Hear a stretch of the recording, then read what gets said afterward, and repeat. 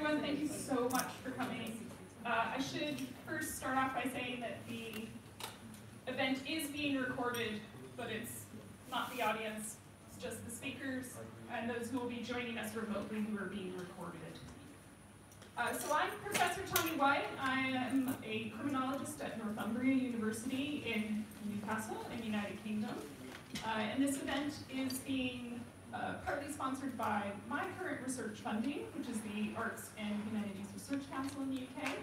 And I had the pleasure of collaborating uh, with the Global Initiative for Transnational Organized Crime, uh, with Ian Tennant and all the folks there at the back, and then also with the Global Initiative to End Wildlife Crime, um, and Alison is joining us uh, from them today. So we are here just having a very open discussion about illicit wildlife trafficking, how we can actually go about preventing that.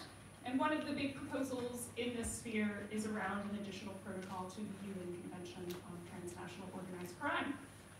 And to start us off with that discussion, uh, we're going to connect now online to uh, John Scanlon, who is joining us from Geneva. I could do a long introduction of him, but I imagine that you all know him. But he is uh, in various roles um, and right now leading the Global Initiative to End Wildlife Crime that I mentioned earlier, as well as chair of the Illegal Wildlife Trade Challenge Fund in the UK.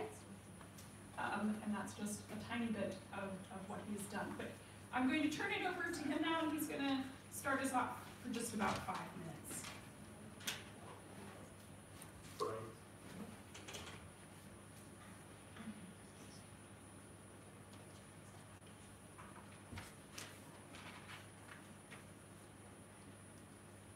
Wonderful. Thank you very much, Tanya, and good afternoon, and uh, very warm welcome to everybody who's joined us today, either in person or in Vienna. Uh, in Vienna or online, I should say. And a very special welcome to the representatives of member states of the UN Crime Commission who are with us today. Apologies uh, for not being able to join you in person myself. I was in Vienna last week for the UN Crime Commission's expert discussions on crimes that affect the environment, but I was not able to make it back again this week. However, Tanya, along with our good colleague Alice Pasqualato from the End Wildlife Crime, are there in person in Vienna. Let me start by acknowledging Paula Coelho. She's the Secretary of the Environment for Angola, who's joined us for this welcoming session. Paula is one of the most hardworking people I know, and she's an inspiration to all of us. Paula had a huge workload this year, with so many major meetings having been postponed to 2022. But despite her pressing commitments, she has joined us for the welcoming session, for which we are deeply grateful, and we will hear from Paula in a little while. I'd also like to acknowledge the extraordinary leadership of the President of Angola, His Excellency João Lourenço, who, as Paula will tell us, last September called for a new global agreement to combat wildlife crime, taking the form of an additional protocol under the UNTOC. In doing so, His Excellency joined with the President of Gabon, His Excellency Ali Bongo Ondimba, and the President of Costa Rica, His Excellency Carlos Alvarado Quesada, who jointly called for a new agreement on wildlife crime in May of last year. And just last week, the President of Malawi, His Excellency Dr. Lazarus McCarthy Chakwera, joined this call through a powerful statement he released on the 16th of February. This visionary call is made by the presidents of four biodiverse-rich source countries that are deeply committed to combating wildlife crime. And in their statements, they've recognised that our global agreements and aspirations to protect our biodiversity on land and at sea, tackle climate change, prevent the next pandemic and achieve sustainable development will not be met unless we seriously scale up our cooperative efforts to tackle wildlife crime. And it is states that make international law. And End Wildlife Crime's work is orientated around how it can, upon request, best support Angola, Costa Rica, Gabon and Malawi carry forward the call made by their respective presidents.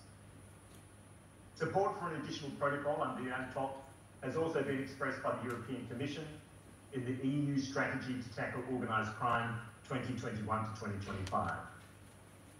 And many individual speakers coming from across all regions have also come forward in support of the protocol, including Ambassador Judi Wakhungu, Kenya Ambassador to France and former Minister for the Environment, Dr. Ji Huangzhang, President of China's Global Environment Institute, Dr. Jorge Caillaux, President of the Peruvian Environment and Law Society, the Honourable Lee White, Gabon's Minister for Water, Forest, the Sea and Environment, and Dr. Jane Goodall, amongst many others. Additionally, End Wildlife Crime currently has 26 international champion organisations coming from across all sectors and regions that are supporting calls for such an agreement.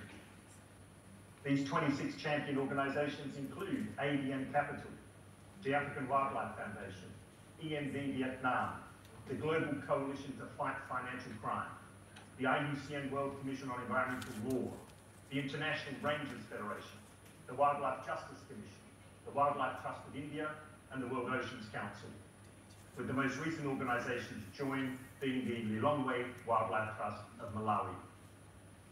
And I would also like to recognise the leadership of our host for today, Professor Tanya Wyatt, and the Northumbria University for pulling together, uh, pulling together today's event and for inviting End Wildlife Crime and the Global Initiative Against Transnational Organised Crime to co-sponsor the event with the university. We have a wonderful array of speakers joining us today, and I extend my thanks to everyone who has volunteered their time to be on the panel with us today. In our first session, we will hear about the history and evolution of the UNTOC, the case for an additional protocol under the Convention on Combating and Preventing Illicit Wildlife Trafficking, the serious threats posed by these crimes and how they converge with other crimes, as well as how such a protocol could apply to marine species. And after a short break, we will return and hear about how international mechanisms for tackling illicit wildlife trafficking are progressing, and we will also have some time for questions. Our good moderator for today, Tanya Wyatt, has served as a technical advisor to End Wildlife Crime since its inception, and I'm sure Tanya will keep us on track as we embark on the most interesting discussion over the coming hours. So with that, on behalf of all of the sponsors and co-sponsors of today's event, welcome, thank you for joining us, and I'll now hand back to you, Tanya, to formally introduce the Secretary of the Environment for Angola. Thank you. Thank you, John. So I see um, that the Secretary, um, Dr. Calacuela, is joining us from Angola, so I will now um, allow her to address uh, the speakers.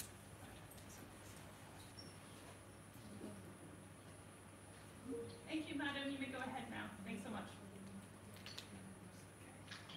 Good afternoon, everyone. And thank you, Tanya, for your introduction and John for your uh, kind words. I'm also sorry I wasn't able to join you today in Vienna, but it is great to see that many of the other colleagues are there in, with you in person. I would like to sincerely thank Norman Kubria University and its partners for hosting this in-depth discussion on such an important topic for Angola.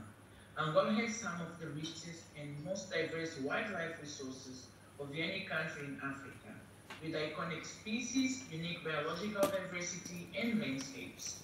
These precious natural resources are severely threatened by the illicit trafficking of wildlife, a form of transnational and organized crime that strips our beautiful country and many others of our natural assets and the opportunity for our people to prosper from their sustainable use.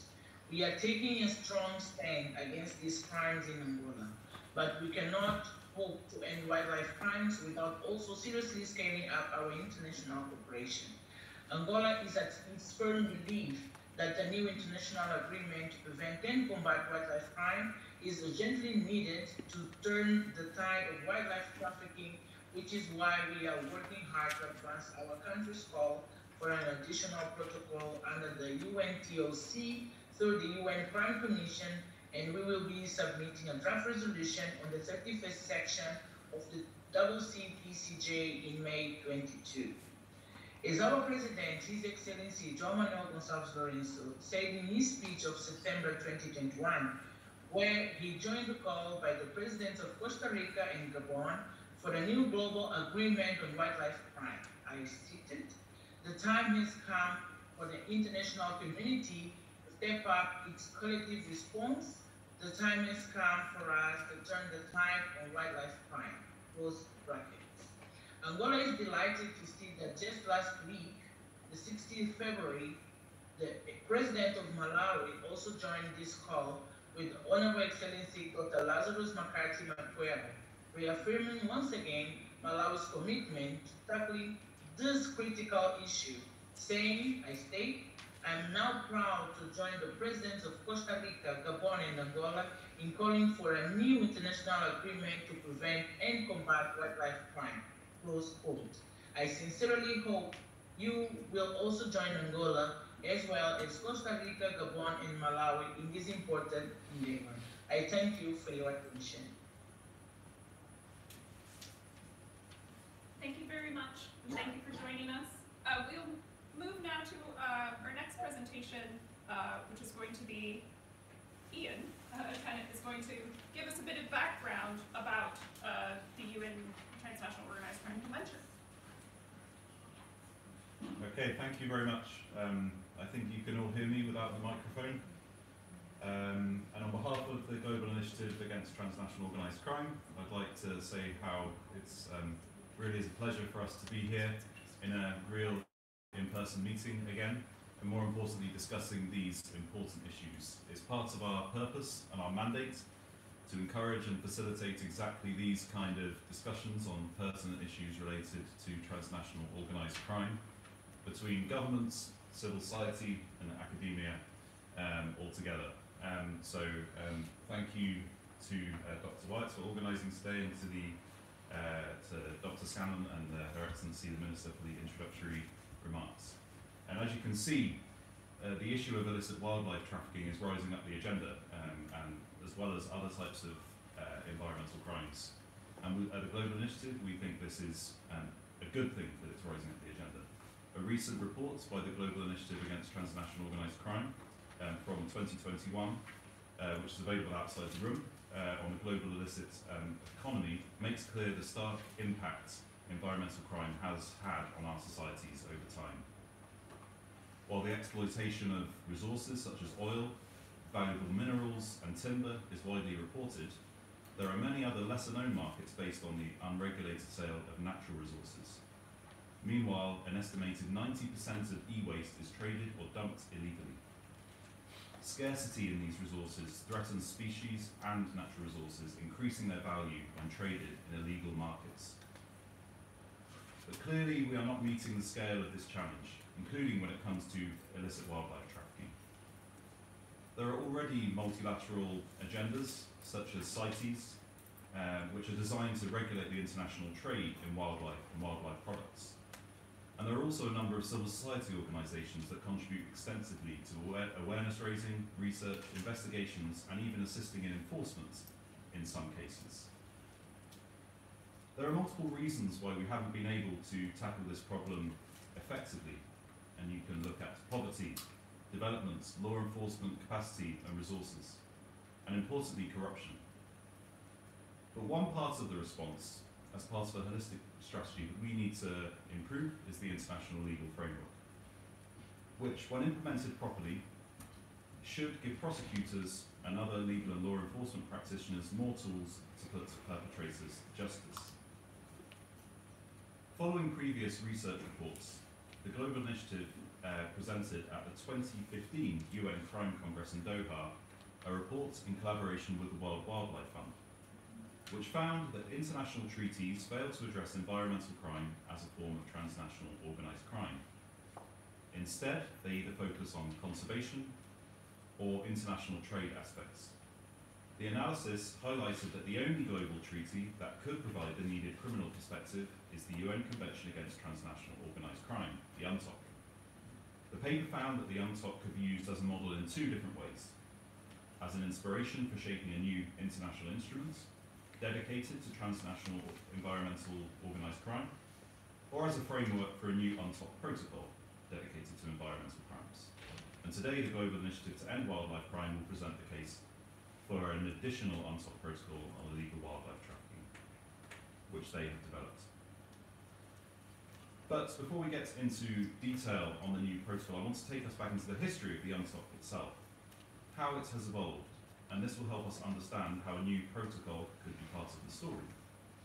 To coincide with the 20th anniversary of the adoption of UNTOC uh, in 2020, we published a report on the history of the convention. The report concluded that the negotiation and the adoption of the UNTOC clearly demonstrates significant achievements. The international community grasped the importance of the issue of transnational organised crime and they took action. The convention was and is a great step forward in terms of giving states new frameworks for criminalising transnational criminal activity and facilitating international legal cooperation to pursue those undertaking these criminal acts. And this is also the case for the three criminal markets addressed by the existing protocols human trafficking, human smuggling, firearms trafficking. Whatever you think of the real impact on the ground against these criminal markets, the UNTOC provides a framework which has been used and should be used more as part of a holistic range of political and practical responses to transnational organised crime. Raising awareness um, of the seriousness of the problem, um, a good amount of political will, favourable geopolitics, and personal commitment and interventions ensured the success of the negotiation of the UNTOC as a widely ratified instrument. Despite the widespread scepticism from member states which existed as the process began towards the beginning of the 1990s, UNTOC achieved a consensual adoption by the end of the decade. Going back further, the UN crime congresses were beginning, just to give an idea of the scale of time here, the UN crime congresses were beginning to recognise the importance of the problems in their declarations and resolutions as far back as 1975, culminating in more concrete changes in the 1990s with the creation of the UN crime programme here at the UN um, in Vienna and the CCPCJ, uh, where the resolution will be presented, the first session of which was in 1992. However, the CCPCJ's predecessor committee, the UN Committee on Crime Prevention and Control, whose unpublished declaration for the end of complacency against transnational crime is a striking example of the strength of recognition and feeling emanating from experts at the time. At the same time, policy was developing. Concretely, national and international legal frameworks were being adopted, which would give inspiration to the UNTOC. In the USA, uh, the Italian anti-mafia legislation, and also internationally, the 1988 UN Drug Trafficking Convention. Specific events also played their part in the history. The assassination of Italian anti-mafia judge Falcone, one month after that first CCPCJ session in 1992, by all accounts stiffened the resolve of the Italian system more than ever to push for a convention. And very relevant for where we are today, geopolitics were very favourable.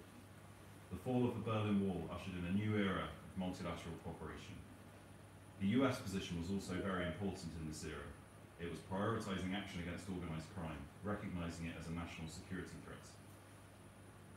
And alongside that, personal interventions from uh, ministers from inside the Italian government, inside the UN Secretariat, and others uh, made a big difference in paving the way for the adoption by consensus of the UNTOC.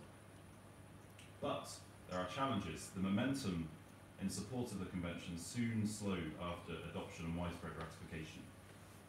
Over subsequent years, while the threat of organised crime did not go away, and at the Global Initiative we would argue it has increased significantly since the adoption of the UNTOC, political priorities seem to wane, and we are still experiencing the consequences of that loss of political will. Only six years after the adoption of the UNTOC, the then Executive Director of UNODC was publicly castigating member states for lack of visible results in implementation and follow-up. And as we know, the review mechanism was only agreed in 2018.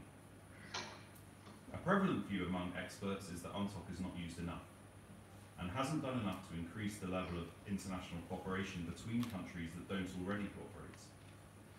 In many regions, knowledge of UNTOC amongst practitioners is low, and in some places legislation is not actually up to the standards of UNTOC despite ratification and adoption.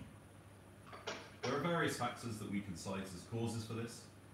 For example, soon after the adoption of the UNTOC, counter-terrorism became an international priority, multilateralism has been in decline, and a new more prominent convention on corruption uh, was adopted, which some say has overshadowed the UNTOC politically. The problem of transnational organised crime is a complex one that requires cross-cutting responses. But here we know that the Conference of Parties is still not well integrated with other related bodies in Vienna, let alone the broader multilateral system. Public awareness of and civic engagement with UNTOC is relatively low, meaning there is little public scrutiny or pressure to hold governments to account on their implementation. And while the UNTOC negotiation process itself included meaningful consultations with civil society, which enriched the discussions and provided governments with new perspectives, in particular on the human trafficking protocol, in subsequent years, civil society has been effectively frozen out of some discussions. For example, NGOs cannot observe the working groups of the UNTOC, and their role in the review mechanism of the UNTOC is very limited. In conclusion, there is a growing awareness of the importance of illicit wildlife trafficking and on the proposal for a new UNTOC protocol to counter it, which has been promoted by high-level government representatives and civil society organisations. There is no, by no means international consensus on it at this point, but it is right that we discuss it in places like this, here in Vienna, also with practitioners on the ground. And alongside these discussions, we also need to be discussing how to improve implementation of existing instruments and bolster practical action and cooperation. We need to be aware of the challenges.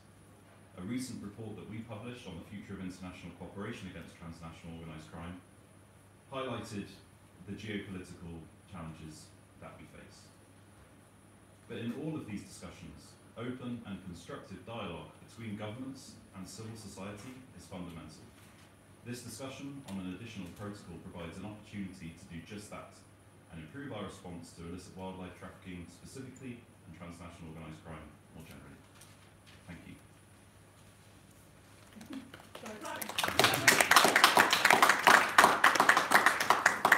Thank you very much, Ian. I think that sets the stage really brilliantly to, to turn now back to John Scanlon so he can give us some more specifics about what is actually in the protocol that has been um, written, drafted, and, and is up for discussion.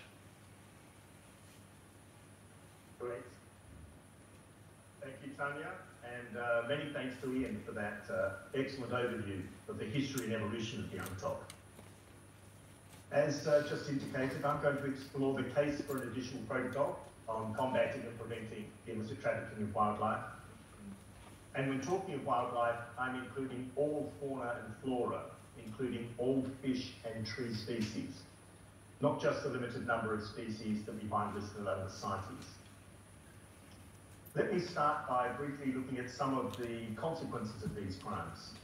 Reports from the IPBES, UNEP, UNODC, the World Bank, and the Global Initiative, amongst others, graphically describe the severe environmental consequences of wildlife crime for our climate, ecosystems, wild animals and plants, as well as for human and animal health. But we also know that the damage goes much deeper than that. We know that these crimes involve the theft of natural resources from local indigenous communities.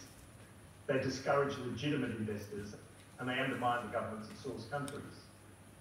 And they do that by depriving them of revenue, fueling corruption, destroying livelihoods, injuring and killing rangers, and creating national and regional security. And Tanya's going to expand upon these issues in her presentation shortly. Over the past 12 years, I've spent a lot of time helping to galvanise support amongst countries, law enforcement agencies, and many others to combat and prevent wildlife crime. And as CITES Secretary General from 2010 to 2018, I was directly involved in multiple collective efforts to achieve this objective, including establishing, institutionalising, and attracting resources for the International Consortium to Combat Wildlife Crime. That's a consortium of the CITES Secretariat, Interpol, Union Office of Drugs and Crime, World Customs, and World Bank. And I had the honour to chair it for its first eight years. It's also involved in working with Gabon and Germany on the first ever UN General Assembly resolution on tackling illicit wildlife trafficking, the United for Wildlife Transport Task Force, the Global Environment Facility and World Bank on creating the Global Wildlife Programme, and with UNODC on its first Wild, World Wildlife Crime Report back in 2016.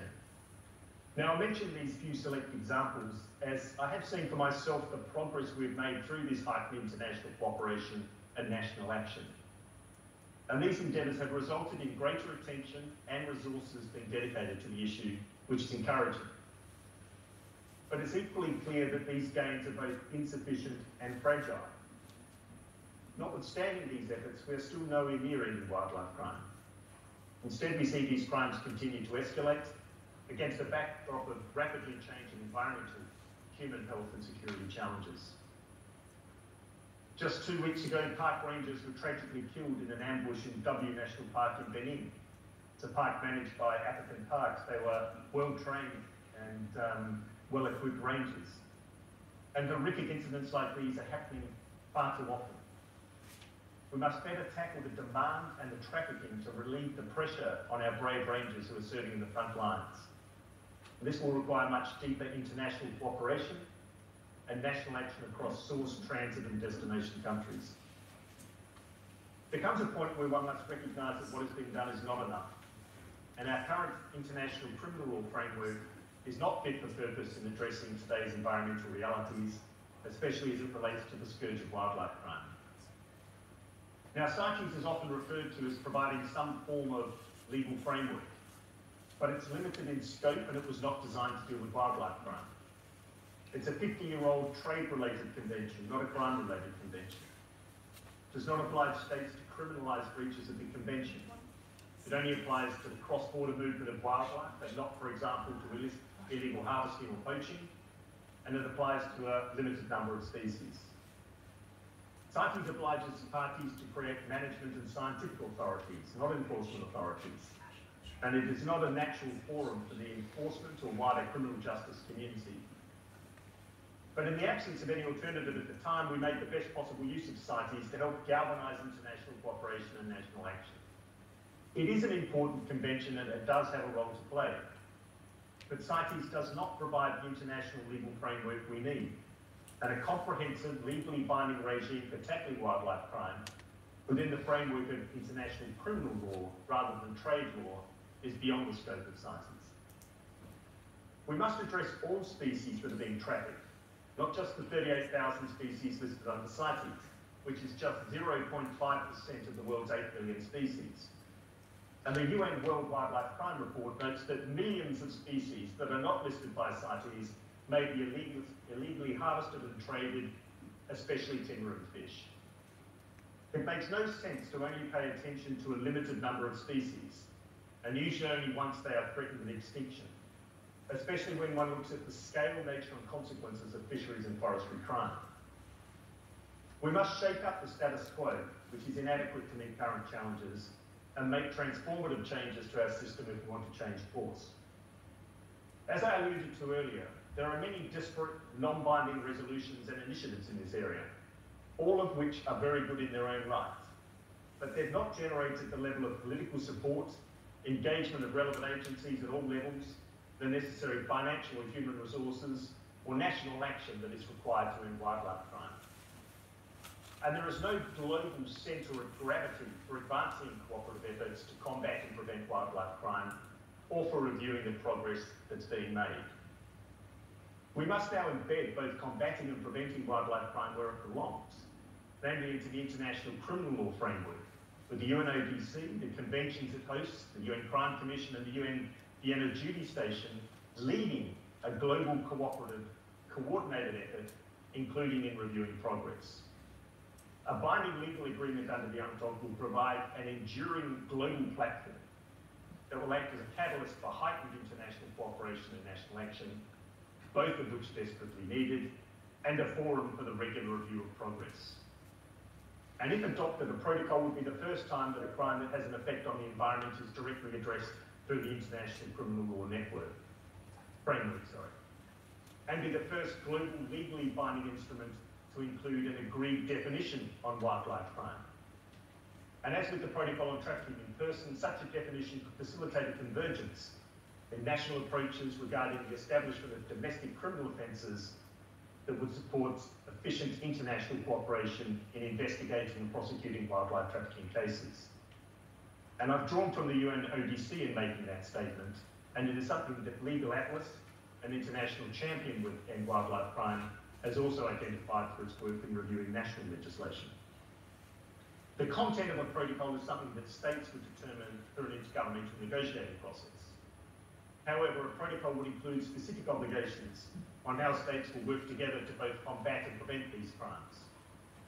And drawing upon the three existing UNTOC protocols, as well as national legislation from many countries, including Australia, China, Mexico, Mozambique, and the US, as well as the UNODC guide on drafting legislation to combat wildlife crime, End Wildlife Crime has, in order to help facilitate the discussion, outlined some of the provisions that could be contemplated. Now, as mentioned earlier, states could, through a protocol, agree on a definition of wildlife crime and on a wide range of obligations to both prevent and combat such crimes. It could, for example, set out the conduct that is to be criminalised and cover any species of wild fauna or flora, including fish and timber species, that is protected under any international or, importantly, any national law, and address the harvesting, taking, possession, purchase, import or export, or introduction from the sea of illicitly traded wildlife. And it could oblige states who, who sign the protocol to make it a criminal offence to import any wildlife or wildlife product into a country if it has been acquired in contravention of the national laws of the source country, representing a remarkable expression of comity between nations or a mutual respect for one another's laws. It addressed the role and responsibility of the carriers of contraband, obliged the verification of the legitimacy and validity of documents, including any documents suspected of being misused, include obligations on cooperation on training and technical assistance, to raise public awareness and take measures to discourage demand, on sharing information, such as on known groups active in illicit trafficking, on their concealment methods and known transport routes, and legislative experiences and practices, and obligations on sharing forensic samples, and to consider measures that will permit the denial of entry or revocation of visas of persons implicated in the commission of offences. Now, since we did this preliminary work, some other suggestions have been made by the many states and organisations we have interacted with, such as to include obligations relating to the protection of environmental defenders and whistleblowers, and on the return of seized and confiscated contraband to the source country. And finally, a protocol would automatically trigger all of the tools available under the UNTOC, which Ian has outlined so well. And it would fall under the review mechanism recently adopted the Convention and its protocols. It would do so without requiring states to make all such offences punishable by four years imprisonment or more. And this would reflect the desirability of providing for a broader range of penalty options for such crimes, based on the value of the contraband and the level of harm caused, including community service orders, restitution, paying damages and fines, as well as imprisonment. As mentioned in my welcoming remarks, the presidents of Angola, Costa Rica, Gabon and Malawi have made a powerful united call for a new protocol. And we heard just earlier from Paula Coelho, the Secretary of the Environment for Angola, who has issued a personal and passionately relayed uh, the views of her president. And today I've briefly outlined what such a protocol could address. And I'm sure there are many other good ideas out there about what it could contain. If negotiations proceed, it will be for states alone to determine the content of the protocol. Colleagues, it's the local and indigenous communities living amongst wildlife, legitimate investors and the governments of source countries, as well as our global biodiversity, climate, health and security that should benefit from the world's wildlife, and not organised criminals.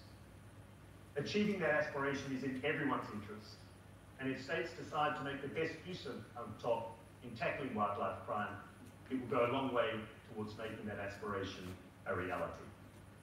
Thank you, Tanya.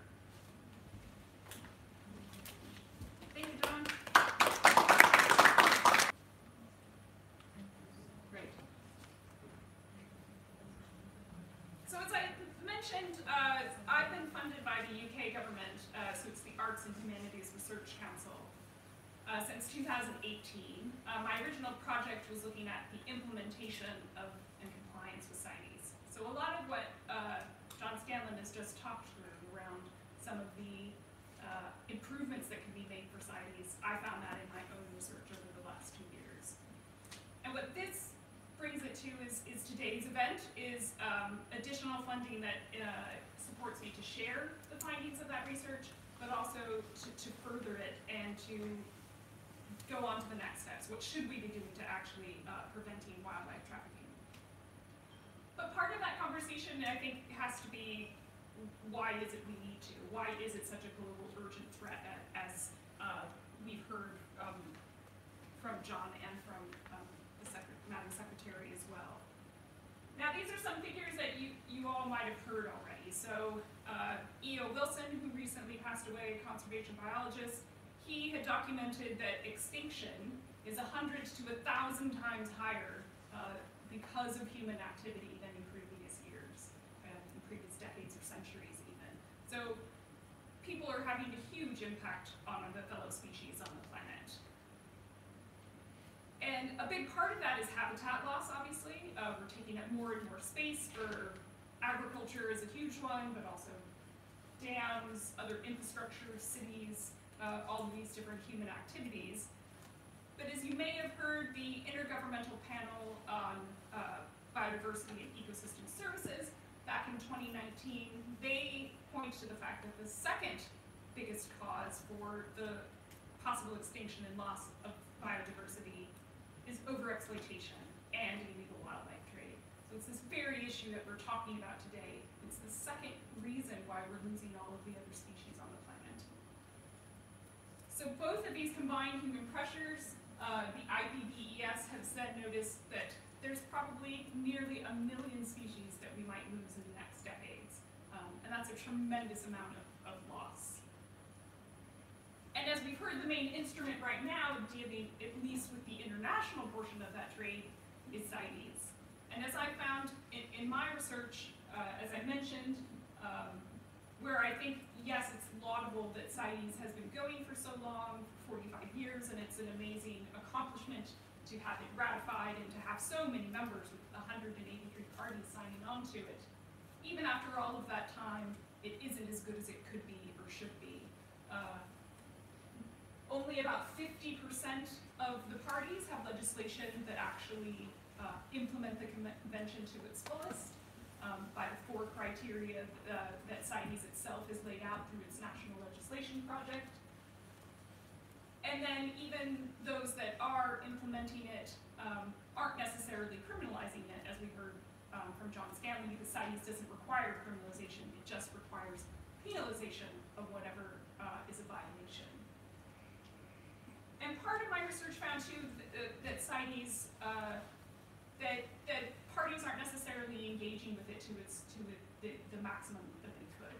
Um, so I'm sure you're all aware that every two years CITES asks for uh, what used to be called the biennial report, which is essentially an implementation report. So feeding back to the CITES Secretariat about how is it going, how is implementation going. Um, I was really surprised to find in my own research that 67 parties have never completed that report.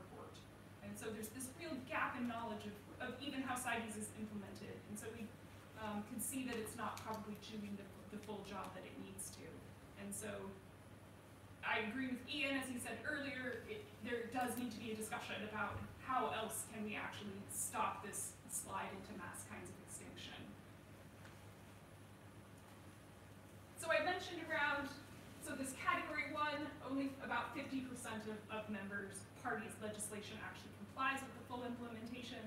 So that means they have a scientific and a management authority, uh, they penalize violations, they confiscate uh, illegal wildlife that is found um, in there. So there's, and that's just the, the, I find that it's just a real limited kind of look at the implementation. It doesn't go much more deeply than, the, than those kinds of uh, criteria. And then you can see um, there's still 36 members that don't have any of those kinds. They don't even have a scientific authority, some countries still. So, so there's still um, lots of problems even after the 45 years.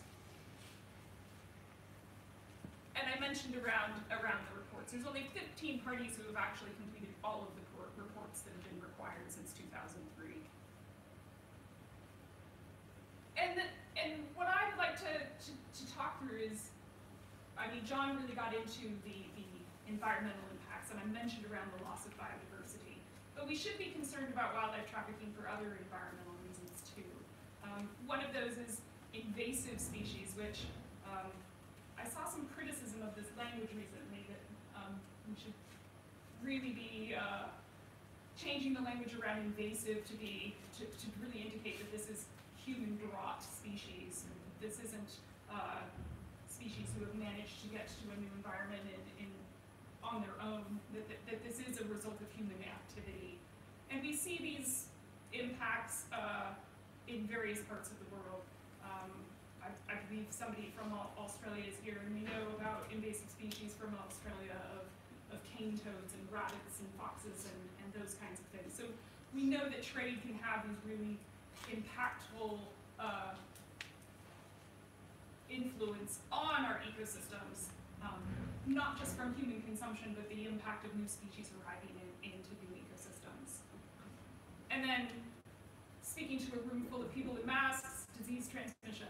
It's, uh, it is part, part of the discussion around wildlife trafficking, and there's an ongoing discussion about how much wildlife trade uh, is linked to diseases like COVID. Um, but that there, we do know that there are zoonoses, and, and we see that um, mink farms, for instance, I think is, is a huge example of that, of, of the, uh, not over the spill over as we call it, but the spill back. What if mink then give COVID or other diseases back to humans? It is a, is part of the conversation when we're talking about wildlife trade, though I would advocate that we do need a, a lot more, uh, information about that. Um, I'd also move on to, I mean, I'll leave the environmental impacts on there though, but what about economic impacts too? Is that we do have issues with, uh, and John alluded to it around, what are the impacts on governments when you have illegal wildlife trade that has circumvented all of the taxes, duties, and revenues, uh, that should be generated from that? And if we include timber, and we should include timber in wildlife trafficking conversations, this is a huge amount of revenue loss. There's some estimates that thirty to ninety percent of timber could be illegal, and that's a huge amount of revenue. At some point, and, and it's been some time ago, in Indonesia, it was expected that billions of US dollars were lost every year because of, of timber trafficking. And I don't think that we should miss out on, on the individual human aspect of that as well, of what about, uh, human livelihoods that are lost out because of wildlife trafficking. And I think that that is, um, there's often a tension, at least in my experience of research around wildlife trade, about the, about the human and, and the wildlife. But we need to, to, to go for social justice and species justice. It does have to be a combination of both. And so we do have to be concerned about human livelihoods. Uh, that, that is a big part of this. But there's, I think, also other human impacts uh, that we should be concerned about when we look at wildlife trafficking. Um, and I think um, my colleague who will speak next, Don Banoon, can speak more to this of, of the uh, physical insecurities that people in spaces where wildlife trafficking has happened might be um, subjected to, of organized criminal groups coming in, timber traffickers, um, are they forcing, coercing, or physically threatening local people in these neighborhoods? So wildlife trafficking has, has these larger implications for human security too, that, that can often be overlooked. And then I've seen some really recent, um, interesting discussions around, uh, uh, so UNESCO, one of our other conventions, talks about uh, cultural heritage being a crime, and that's something that can go into the international criminal courts. But what about natural heritage? Can we think of wildlife as our natural heritage? Uh, it's so ingrained in our cultures and our traditions and in our communities. And so when you're facing all of this loss of biodiversity and extinctions, that's a real loss to human culture uh, in many places. And, and those are other reasons that we should be combating it, focusing on it, because uh, it is uh, a, a different kind of loss beyond biodiversity. And then finally, I, I'll just uh, end on the idea of, of the links to national security, and, I, and I'll mostly let my colleague who's speaking next, Daan, talk about the, the convergence with other crimes. But I've written uh, quite extensively about uh, how corruption is so uh, ingrained with how wildlife trafficking actually functions. Wildlife trafficking wouldn't be happening if it wasn't for corruption. It's a core facilitator in many parts of the world. Uh, and we know that corruption uh, is really intricately also linked to poverty, and that people are kept impoverished because often they're surrounded by corruption and can't actually um, overcome that in, in the spaces where they live. We, uh, we have the links to organized crime, um, which I said uh, we'll hear more about maybe s- i- in just a moment. Uh, but also then we have um, the discussion, and it came up last week uh, for those of you who were at the expert panels on uh, crimes that affect the environment, of possible links to terrorism and insurgency and these other kinds of threats to human communities. Uh, and I and I agree that this can sometimes the evidence of this can be tenuous at times, um, but I think we do know uh, for certain elements of wildlife trafficking that, that we know that this does Um, one of the ex- recent examples, and, and Jorge Rios uh, gave it last week, is around charcoal. Charcoal is really run by uh, militias uh, in parts of Africa, and and that disrupts the rule of law and again threatens human security and individual local people who are who are caught up in, in these kind of crime landscapes. Uh, so, whereas this terrorism insurgency might be somewhat over exaggerated, uh, we shouldn't lose sight of it, and we should um, remember to, to, to keep looking for that. So I, I just wanted to present sort of that bigger picture of, of why is this a significant topic that we should be talking about? What are the, the global issues that make it so urgent? And it, and it is an environmental issue, but it's also an economic, human, and national security issue as well. So I'm going to leave it there and uh, turn it over to my colleague Daan, who's going to talk much more about how he how he has evidence from his amazing field work around the world uh, how wildlife trafficking is actually converging with other kinds of crime. My name is Daan van Bloem. I'm a criminologist at Utrecht University in the Netherlands. And um, I conducted uh, research on the illegal wildlife trade uh, during my PhD. Uh, but since then, I'm actually interested in this topic. Um, I also would like to talk a bit about the diversification of organized crime into the illegal trade in natural resources, um, including wildlife trafficking, to have a better understanding of how organized crime um, actually appears to be present in particular regions in the world in relation to illegal wildlife trade. Um, in line with, uh, with the points of uh, my uh, dear colleague, uh, Professor Tanya Wyatt, um, I also would like to emphasize that um, there are a lot of significant direct and indirect um, environmental and social harms related to the illegal wildlife trade to human and non-human entities, including um, affected uh, ecosystems, uh, disrupted ecosystem functions, um, side effects including zoonotic diseases, um, as well as the direct harms to animals. Um, and in addition to that, there is a diver, diverse area of harms to local communities that actually suffer because of organized crime activities in their environment. In addition to that, we have the actor level.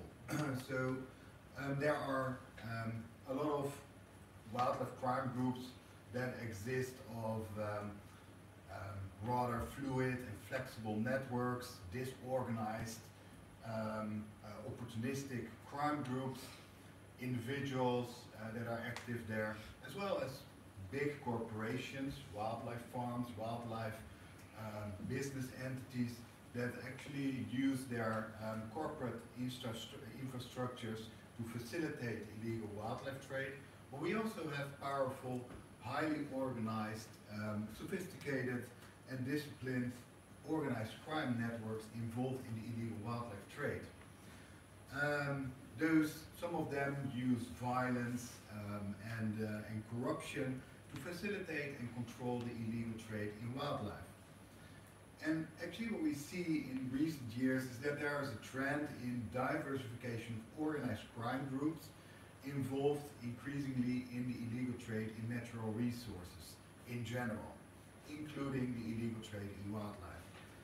And to understand in a bit better way how this works, I would like to briefly touch upon this uh, uh, theoretical model that looks at the different stages of diversification of organized crime into the illegal wildlife trade. we see in the first stage of the environmental crime continuum, um, there are alliances being established between an organized crime group that is uh, active in a specific territory and an illegal wildlife uh, crime group. For example, um, in Colombia there is an, an active ring um, in uh, bird smuggling and they have to get these birds through the territory of an organized crime group there that's there in charge. So what do they need to do? They need to establish somehow a sort of relationship with the organized crime group to pay at least the tax to them. This is, I would say, the first step in diversification, where the first contact can be seen with organized crime on a very low level and their role involved in illegal wildlife trade. In the second stage, we have a long-standing, long-standing relationship. So those two parties actually establish a relationship, have mutual benefits, but also mutual enemies. Um, they have sometimes formal agreements about the trade that is, for example, going through the territory where organized crime groups are active. In the third stage, um, the two entities form actually one single entity. So they converge in the middle of the environmental crime continuum into an entity that displays characteristics of both groups or more groups simultaneously. So this means that we are talking here in the middle of the continuum about multifaceted, um, complex crime groups with a, a diverse criminal portfolio. So they have multiple trade lines, including illegal wildlife, illegal drugs, illegal wildlife, um, illegal drugs, illegal weapons, they kind of illegal commodities that are under their control. Another stage is transformation, where an organized crime group decides to be focused specifically on the illegal trade in wildlife. For example, coming from the drug trade. And in this particular stage, you see that they adapt to changing circumstances. Uh, for example, that can be politically in terms of repressive drug policies, but it can also be because of economic purposes, that a particular timber species a particular wildlife species reaches an extremely high level on the black market, or that the knowledge about those species, where the organized crime group is active, that the knowledge about the value is coming to the, uh, to the group, so that they actually transform their entire organization, like a legitimate business entity. In the final stage, we are talking about domination. This is a more traditional perspective on organized crime, where they are completely in control of a specific stage of the illegal wildlife trade. It can be the poaching part, can be the smuggling part, but can also be the distribution part. But the diversification of a crime group um, X uh, into a new market, Y, also um, is very often combined with um, established um, relationships established with local opportunistic networks. So a crime group from abroad can appear in a specific region, um, include a new illegal commodity in its criminal portfolio, but simultaneously have to work on their social relationships with the communities and also with local opportunistic crime groups in the local setting. So what you see is that organized crime groups also actually outsource some of the illegal activities to local groups, for example, in terms of poaching or in terms of uh, uh, smuggling. So they establish a network around there to facilitate the illegal trade in wildlife in this sense. There are many concrete examples where organized crime groups are involved or become increasingly involved. Um, I did research in several parts of the world for my PhD in uh, China, Russia and Morocco. And for my current research, um, I'm doing field work and research in Colombia and Panama, but also Southeast Asia, the border of Laos, Myanmar and Thailand, but also in Eastern Congo. And um, based on this research, you see that Chinese organized crime groups increasingly become involved in illegal wildlife trade in neighboring countries, including Laos and Myanmar. Um, so they establish actually networks there and arrange that in, in particular tiger products, but also rhino horn, um, is being smuggled across the border into China. Um, during my PhD, I also did research on the caviar trade in, um, in Russia, uh, where you see that actually quite sophisticated networks of corrupt officials collaborate with um, Russian organized crime um, uh, structures to facilitate the illegal wildlife trade, in particular in uh, the source area of Dagestan. Um, in Colombia, I'm just two, two days back from Colombia, from field work there, and there you see that, um, well, one of the main uh, dominant uh, organized crime groups at the moment there is the so-called Gulf Clan, they have names as well. But you see that in some of their territories where they are active, including Darien, the border area between Colombia and Panama, where they have territorial control, is that they also facilitate actually their smuggling routes to illegal wildlife traffickers that are interested to smuggle, for example, birds or uh, monkeys through their territory. So they facilitate illegal business there.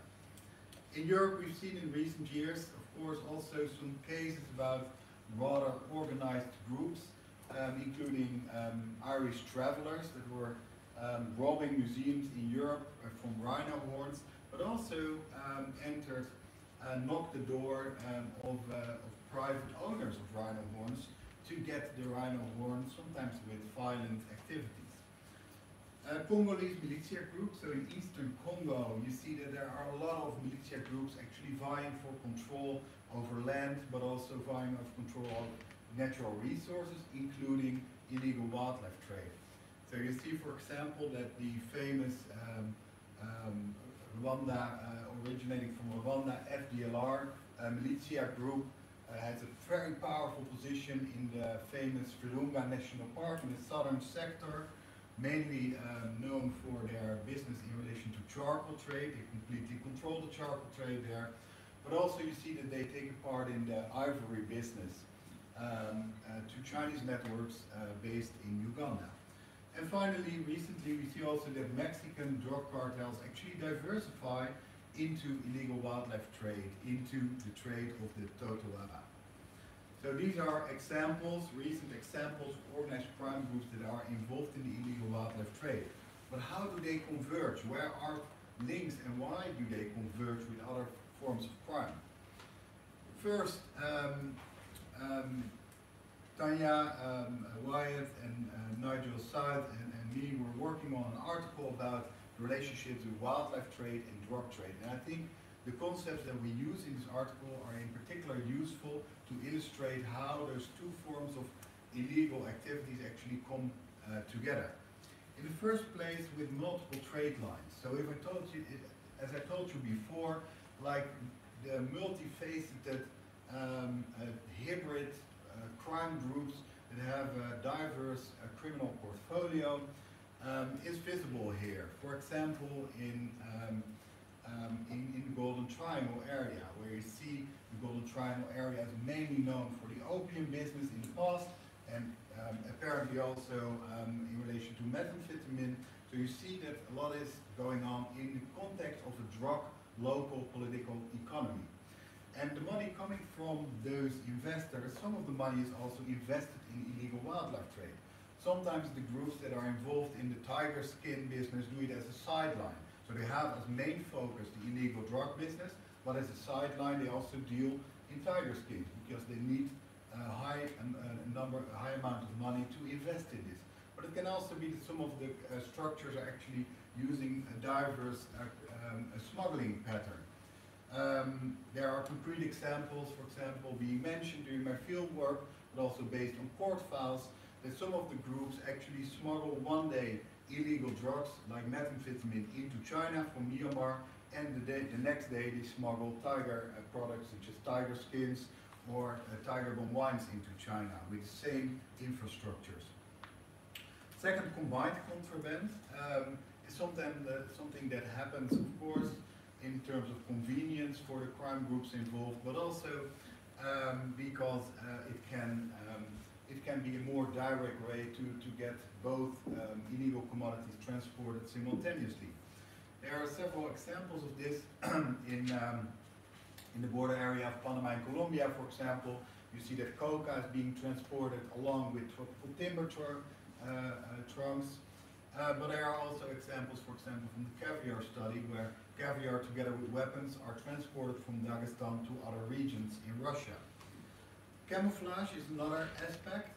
That is actually something you might very well know about drug uh, cartels or drugs organizations like the Italian Mafia, the Camorra, that actually use fishing vessels to import um, cocaine. Cocaine is hidden um, within fish. Uh, and sometimes the camouflage is also an illegal commodity, um, such as charcoal um, uh, in eastern Congo being used as a cover to hide the ivory from eastern Congo into Uganda.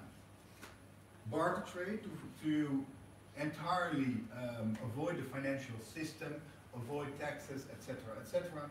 It can also be that products are uh, exchanged, in particular when we're talking about regions where there is not so much money. So when actually it's easier to, to barter products instead of paying for it. So there are examples where um, in the past where birds were exchanged for heroin, um, but also um, in relation to ivory, that ivory is being exchanged for weapons for militia groups in eastern Congo. Laundering money, um, there are also some wildlife um, uh, corporations that have a wildlife corporation or business entity as a cover to launder profits coming from illegal other uh, crimes, including the drug trade.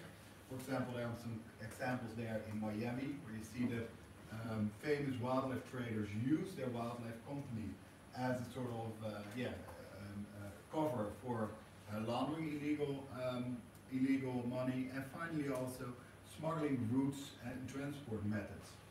Um, well, if you look at the Colombian setting, you see, for example, that um, a lot of illegal migrants are going from Colombia into Panama, but also illegal weapons are being traded, um, as well as coca, of course, and that's exactly the same rivers, for example, the Cacarica River in Colombia, are being also used for the illegal trade in tropical timber or the illegal wildlife trade. So this is how you see how crimes actually converge. But this also has to do, of course, with, um, with criminogenic asymmetries in our globalized world. So um, at the moment, our world is, is changing rapidly. But if we look back at our world 20 years ago, there were the infrastructures and the communication methods were quite underdeveloped as how we know it uh, as today. So that means that also illegal entrepreneurs benefit at the moment from economic asymmetries, political asymmetries, cultural asymmetries between countries to facilitate um, their illegal uh, wildlife trade. To give you an example, um, economic um, asymmetries between, for example, getting a species from the jungle outside the jungle, um, where rhino horn, as you know, um, uh, is a lot of money at the black market at the moment, but also can attract groups to establish new alliances.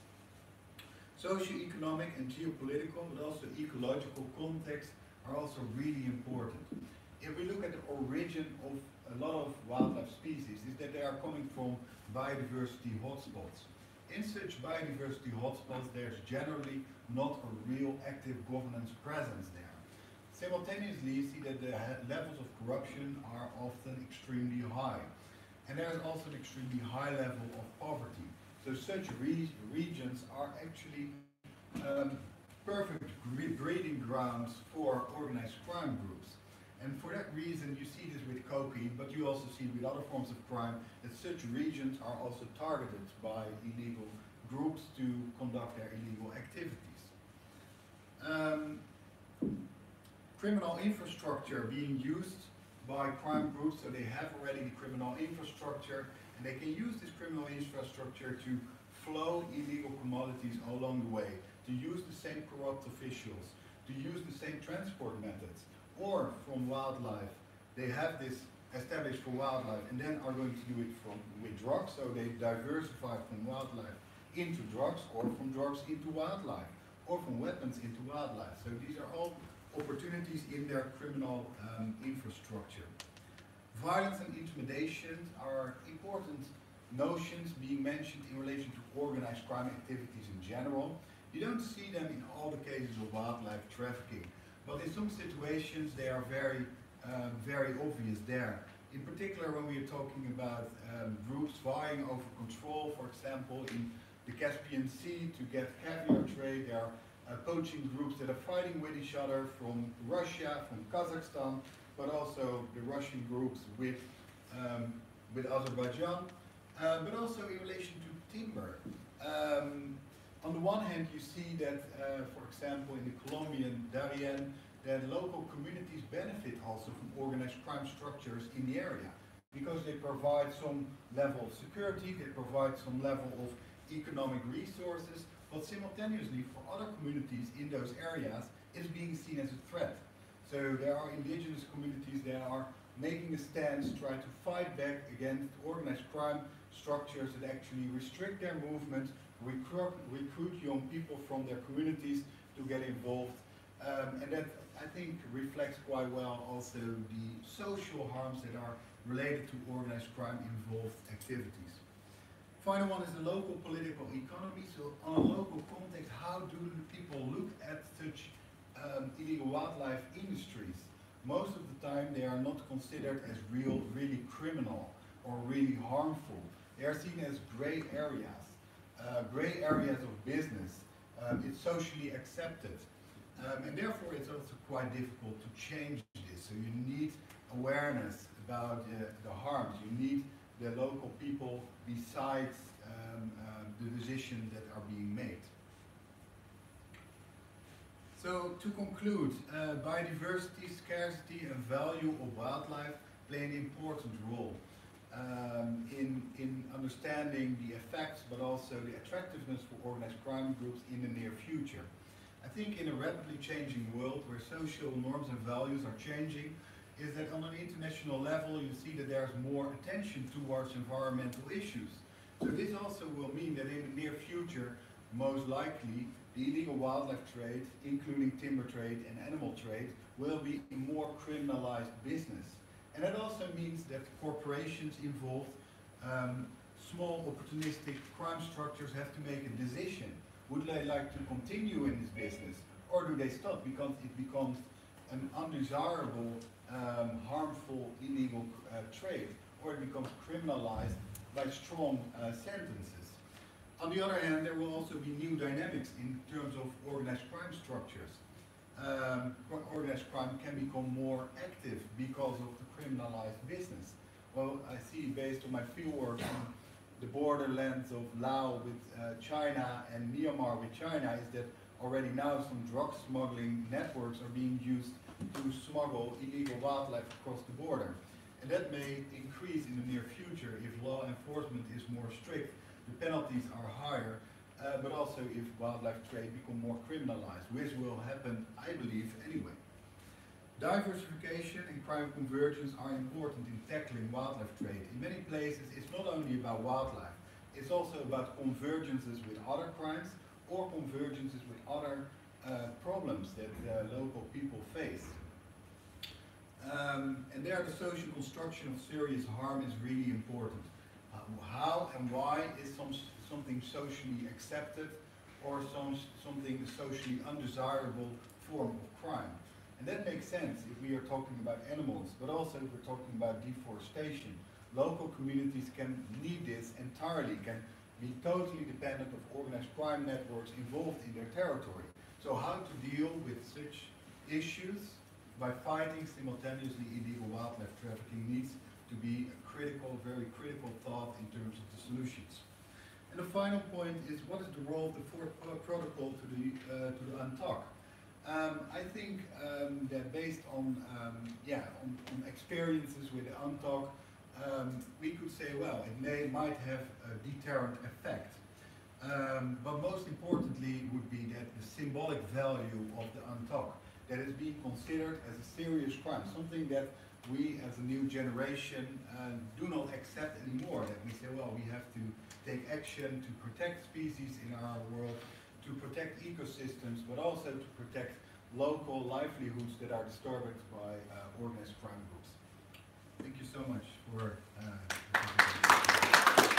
um, my name is Daniel Kachelriess. Um, I work for a US-based nonprofit law firm called Sea Shepherd Legal. Uh, I'm very grateful to um, Dr. Wyatt and the Global Initiative to be able to give a presentation here. Um, and as John already announced earlier, and um, as you can see from the title, Um, when the protocol came out, uh, when the uh, End Wildlife Crime Initiative it, it developed the draft protocol, uh, what we did is we had a look at it and we said, well, how would it apply to marine species? Is there anything in particular in drafting this protocol going forward, which we fully acknowledge is in the hands of member states, as John also said, um, that would make it practical tool for combating IUU fishing, um, and that would make it applicable to marine species. Um, so, I think all of us are aware IUU fishing is a big threat.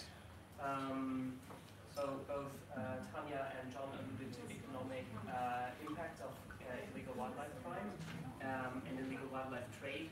Uh, for IUU fishing, there are some estimates, although they, they have their difficulties. Um, in 2017, the World Bank estimated uh, the value of illegal fishing at 11 to 36 billion US dollars. Um, and in a 2020 estimate puts the revenue um, just of the trade, uh, so that, that part of, illi- uh, of illegal fishing that is afterwards traded, at 9 to 17 billion US dollars. Um, and there is no great definition of IUU fishing, which is one of the reasons why it's so difficult to estimate it. But when you look at the FAO uh, International Plan of Action on IUU fishing, uh, you notice that all of the activities that are classified as IUU fishing under that international plan in some form fall outside of established management frameworks, and in, in that sense, they um, are either um, they're damaging existing management, or they're out completely outside of existing management and are at, at the very least they're unfavorable. Um, IUU fishing also includes a number of fishing uh, methods that are um, that have an outsized environmental impact or that target particularly uh, vulnerable species. Um, and um, while they're not all illegal, they all have some form of negative i- i- impact on the marine environment.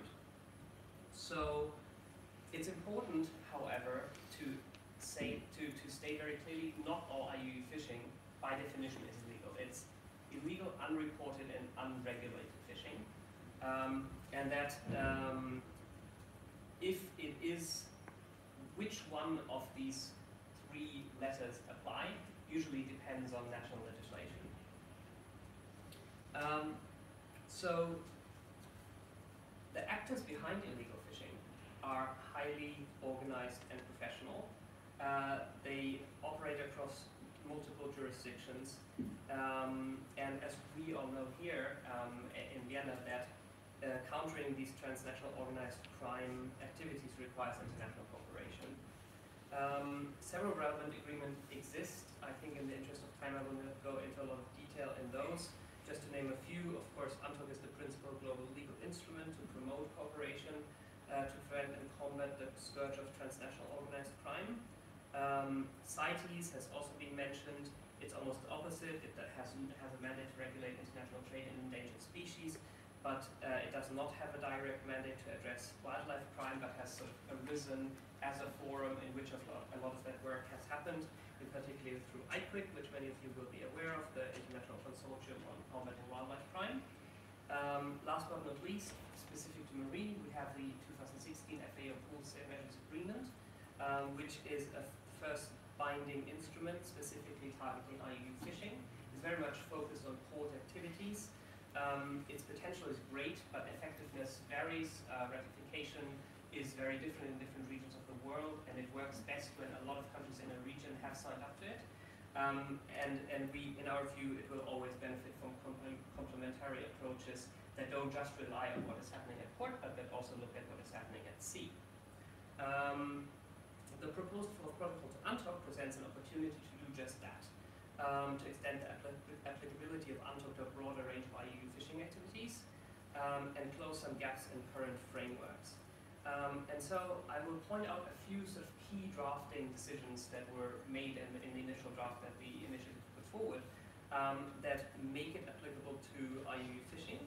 Um, and it's we fully recognize it's up to member states to decide how the protocol will be adopted um, and whether to adopt such a protocol. Um, so first, as John mentioned, um, fish are very often a forgotten component when, when talking about illegal wildlife trade or about wildlife overall. Um, in some countries, um, there's a great paper by, by Dr. Wyatt on this. Um, it, it, they're not even considered wildlife in the national legislation. Um, so it's all the more noteworthy that in footnote 20 of the draft article here, it's, it's clear that um, the, the term wild fauna and flora includes fish. Uh, and of course, maintaining that would be an important prerequisite in order to be able to apply the protocol to, to fishing um, uh, um, violations. Now, the second is that in the definition of trafficking in Article 3, um, introduction from the sea is included. Introduction from the is a term that comes from CITES, um, and it's one of the four transactions defined as international trade in Article 1 of CITES. Um, and it, it refers to the transportation of specimens from the high seas to a state. Um, it's been in the convention since it was adopted in 1973, but it wasn't really uh, put into practice until much later um, at the CITES COP uh, 16 in 2013. Uh, for the first time, a number of, of uh, commercial relevant species that were caught in the high seas were added to the CITES appendices, and, and it, together with that, CITES parties had to somehow operationalize introduction from the sea. Um, and, um, and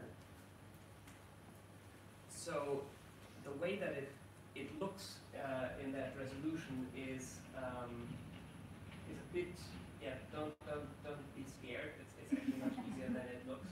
Um, so usual transactions on the CITES are handled as, as import export. It, it CITES triggers as soon as a, a listed specimen crosses from one country to the next and these, this is an import export transaction. So so before introduction from the sea just a normal case is, is up top.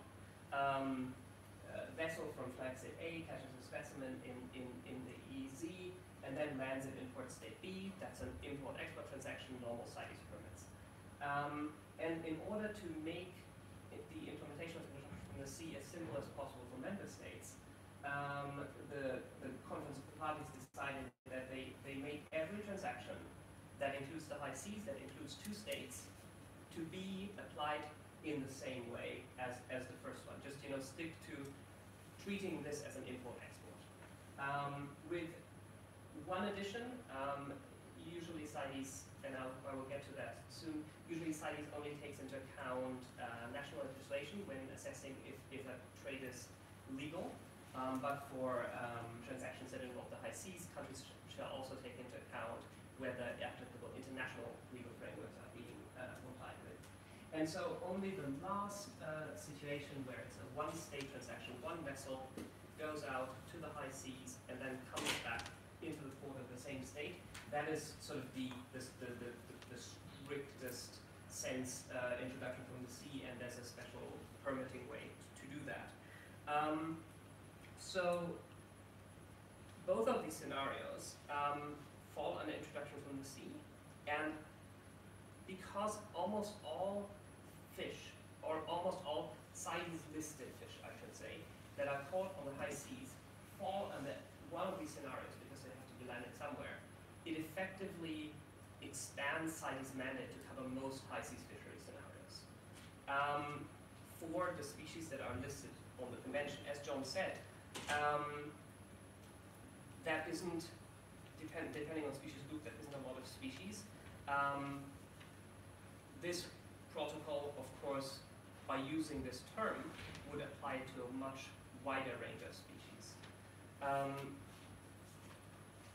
going to the next um, element, um, having established a very, potentially very broad scope there through including introduction from the sea and fish, um, the protocol can then support other mandates. So, so one big stumbling block in using CITES listings to um, support some other measures. So for, there's a, a, convention called uh, Convention on Migratory Species, Bonn Convention.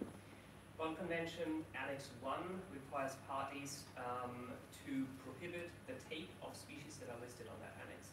However, the Bonn Convention doesn't have a history of being well implemented in national legislation. So when you look at the CITES trade database, there's a number of species that are on CMS Appendix 1 being traded legally under CITES because CITES only requires you to look at the national legislation. It doesn't require to look at whether or not that the country that is trading has signed up to another instrument that it hasn't implemented in national law. Um, and so um, the fact that the protocol here makes direct reference in Article 5 to um, applicable international law um, has, a, has a huge potential to help address sort of non-compliance with treaties that are not so well enforced um, and, and to um, basically create almost like these layers of, of mutual support between treaties.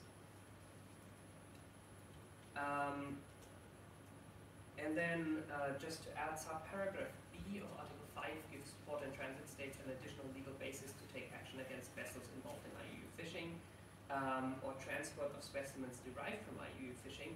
And as John mentioned, that is, uh, is, is this comity between states shifting some of the enforcement, uh, enforcement burden away from the source countries, which might often be poor coastal countries that don't have vessels um, in order to, to, to do uh, patrols, to, to stop um, and inspect vessels, um, and to move it more to transit and destination countries and really sort of help out there. Now, just before concluding, a couple of uh, other issues that we found out, uh, we found when we were analyzing the, the draft protocol. Um, of course, as many of you will know, Article 73.3 of UNCLOS um, places restrictions on corporal punishment by the coastal state for IUU fishing violations. Um, so there are uh, very specific situations that, that um, uh, would require some drafting around um, where this could be in conflict. Um, what's very helpful is that the protocol, um, as, as John also mentioned, would forego UNCLOS requirement that the crime must be punishable by four years in prison.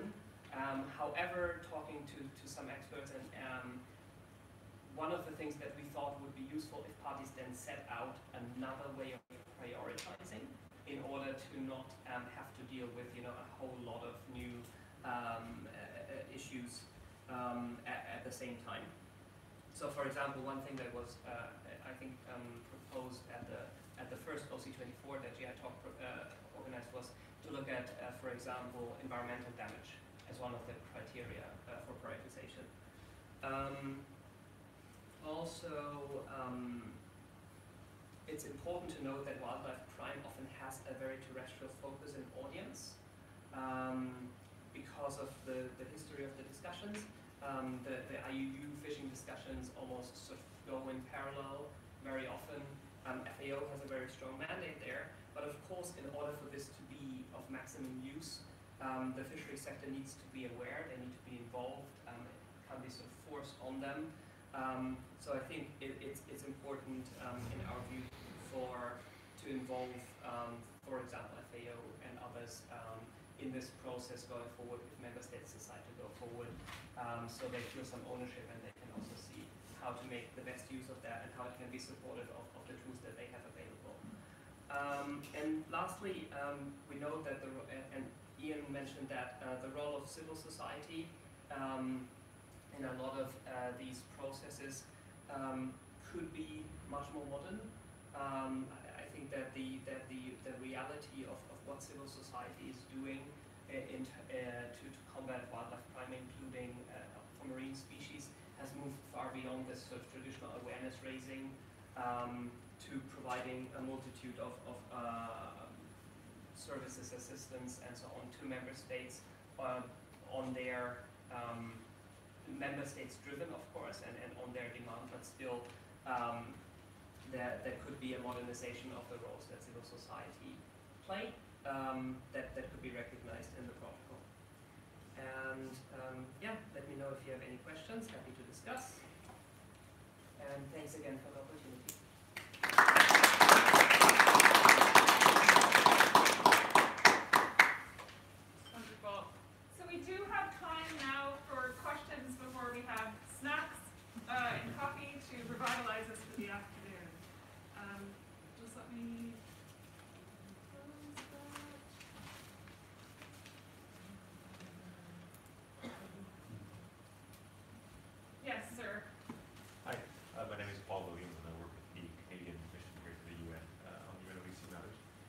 question is actually on the last presentation. I'd like to thank all uh, presenters for very useful and interesting uh, discussions. Um, Daniel, maybe this is just a very quick uh, answer for you, but uh, you mentioned a draft protocol, and is there a draft traditional fourth protocol out there right now, or was this your suggestion for an eventual draft protocol? Thank you. Um, no, so um, on the End Wildlife Crime Initiative website, there is a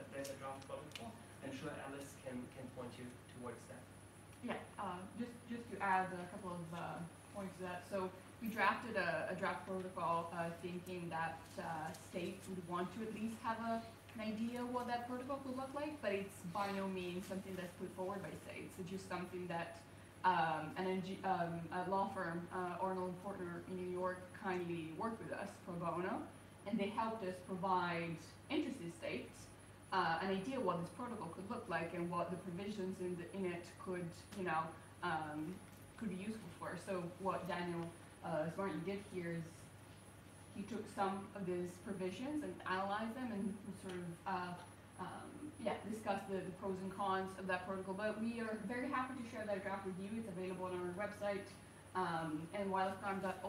And uh, again, that's just really an idea of what we think the protocol could look like, but it's up to states to decide what they want and don't want in that protocol. So again, very informal instrument so far. Thank you. I thought the picture here was a discussion and it's my dog, so I apologize. It seems like a, yeah, yeah. This is my home in northeast England and we're out for a walk and he's standing on this rock pile. Sorry, go on, please, what's your question? Good afternoon, everyone. My name is Maria Fabino. I work at the EU delegation in Vienna. Um, and I followed the discussion on diamond crimes uh, two weeks ago. Uh, so, well, first of all, I would like to thank you for the organization of this uh, roundtable uh, on a very uh, complex topical issues and urgent issues as well. Um, and thank you also for the pedagogical also approach of your presentation so far. So thank you. Um, you know the position of EU concerning uh, the preservation of, of, of nature environment. You know about the Green Deal. So we are uh, we want to, to, to be ambitious on what uh, we need to do both in, in the EU but also outside the EU. Um, you, are, you may have heard the presentation of the uh, proposal for a new uh, EU uh, directive on environment crime two weeks ago. So we are very ambitious on this this issue.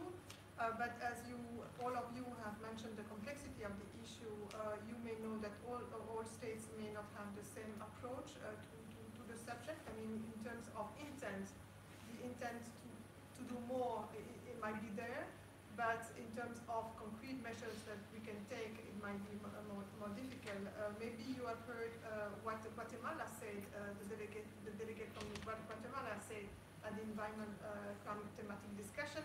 He said that uh, pros- to go for more prosecution, it might be a problem for poor co- countries and poor regions, specifically, specifically rural uh, regions where people are poor. So c- cutting, he said, uh, cutting a, a tree uh, in a rural um, area where poor people lives and they have to, I mean, they have to survive, or cutting a tree in, a, in, in Brussels, I mean, it, it's not the same impact and the same uh, uh, issue.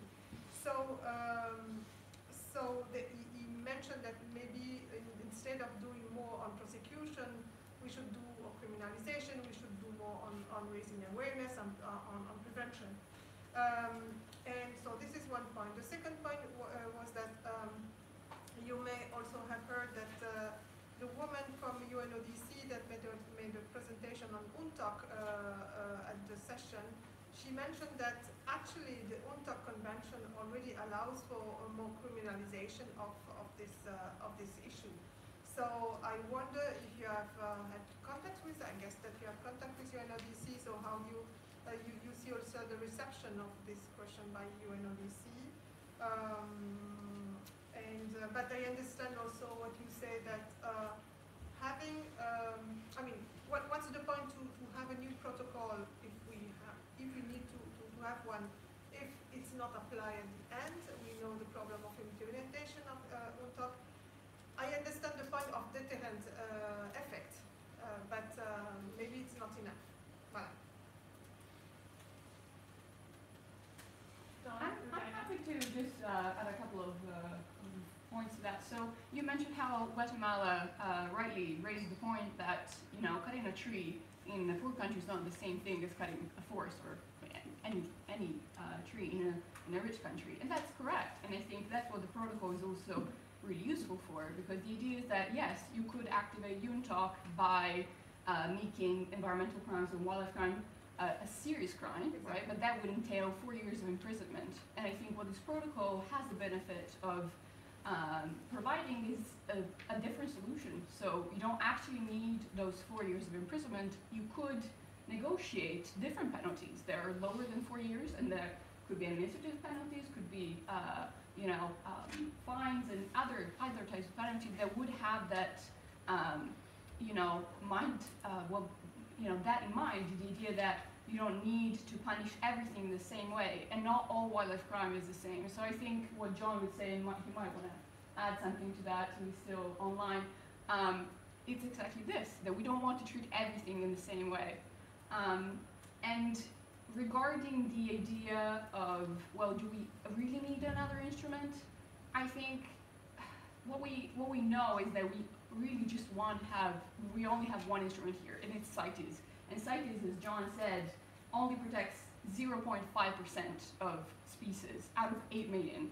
So the idea is, yes, we do have an instrument, but it's not enough, and it's uh, it, it's never it, it was never meant to be a crime instrument.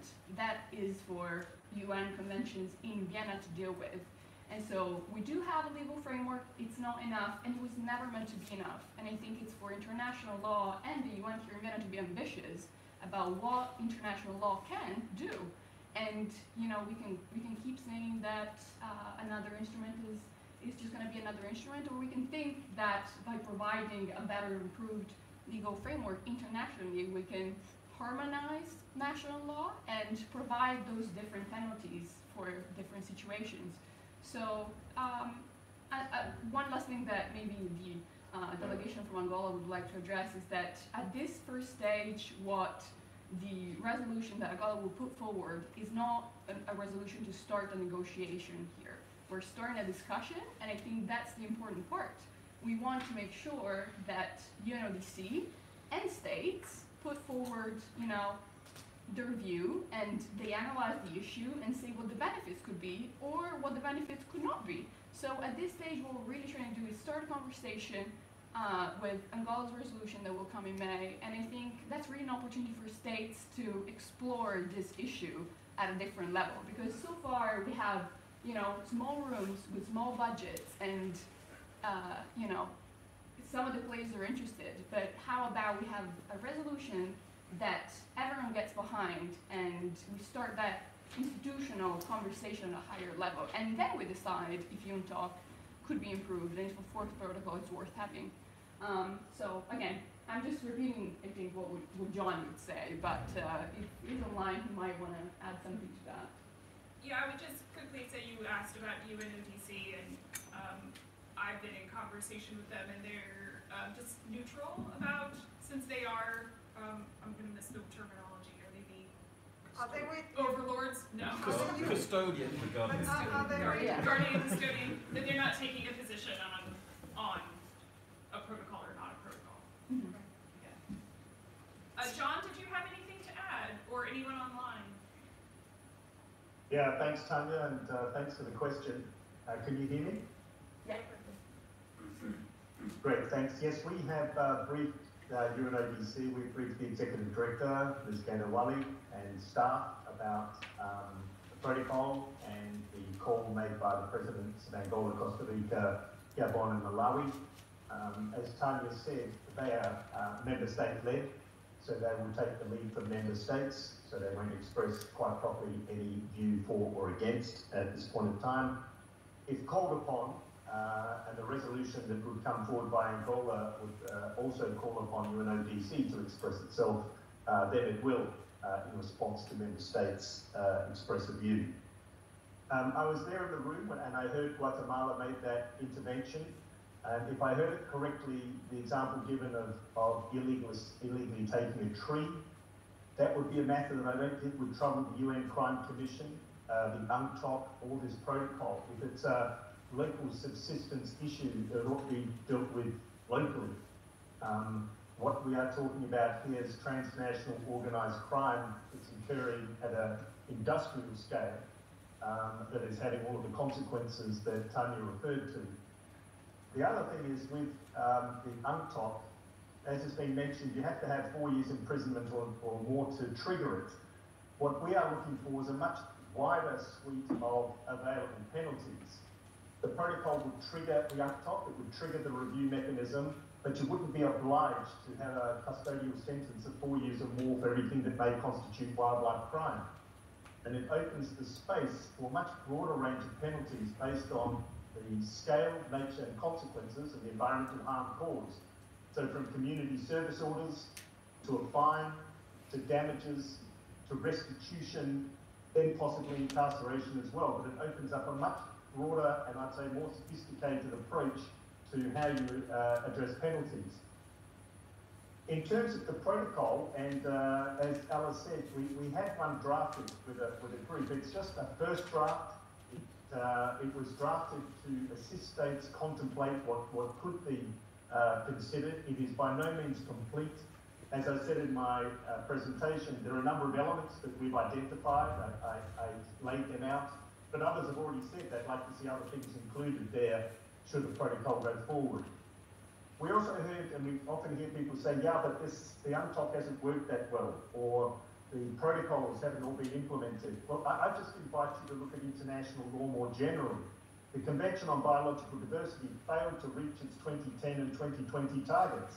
Do we say let's not keep going with the Convention on Biological Diversity because it failed to meet its targets?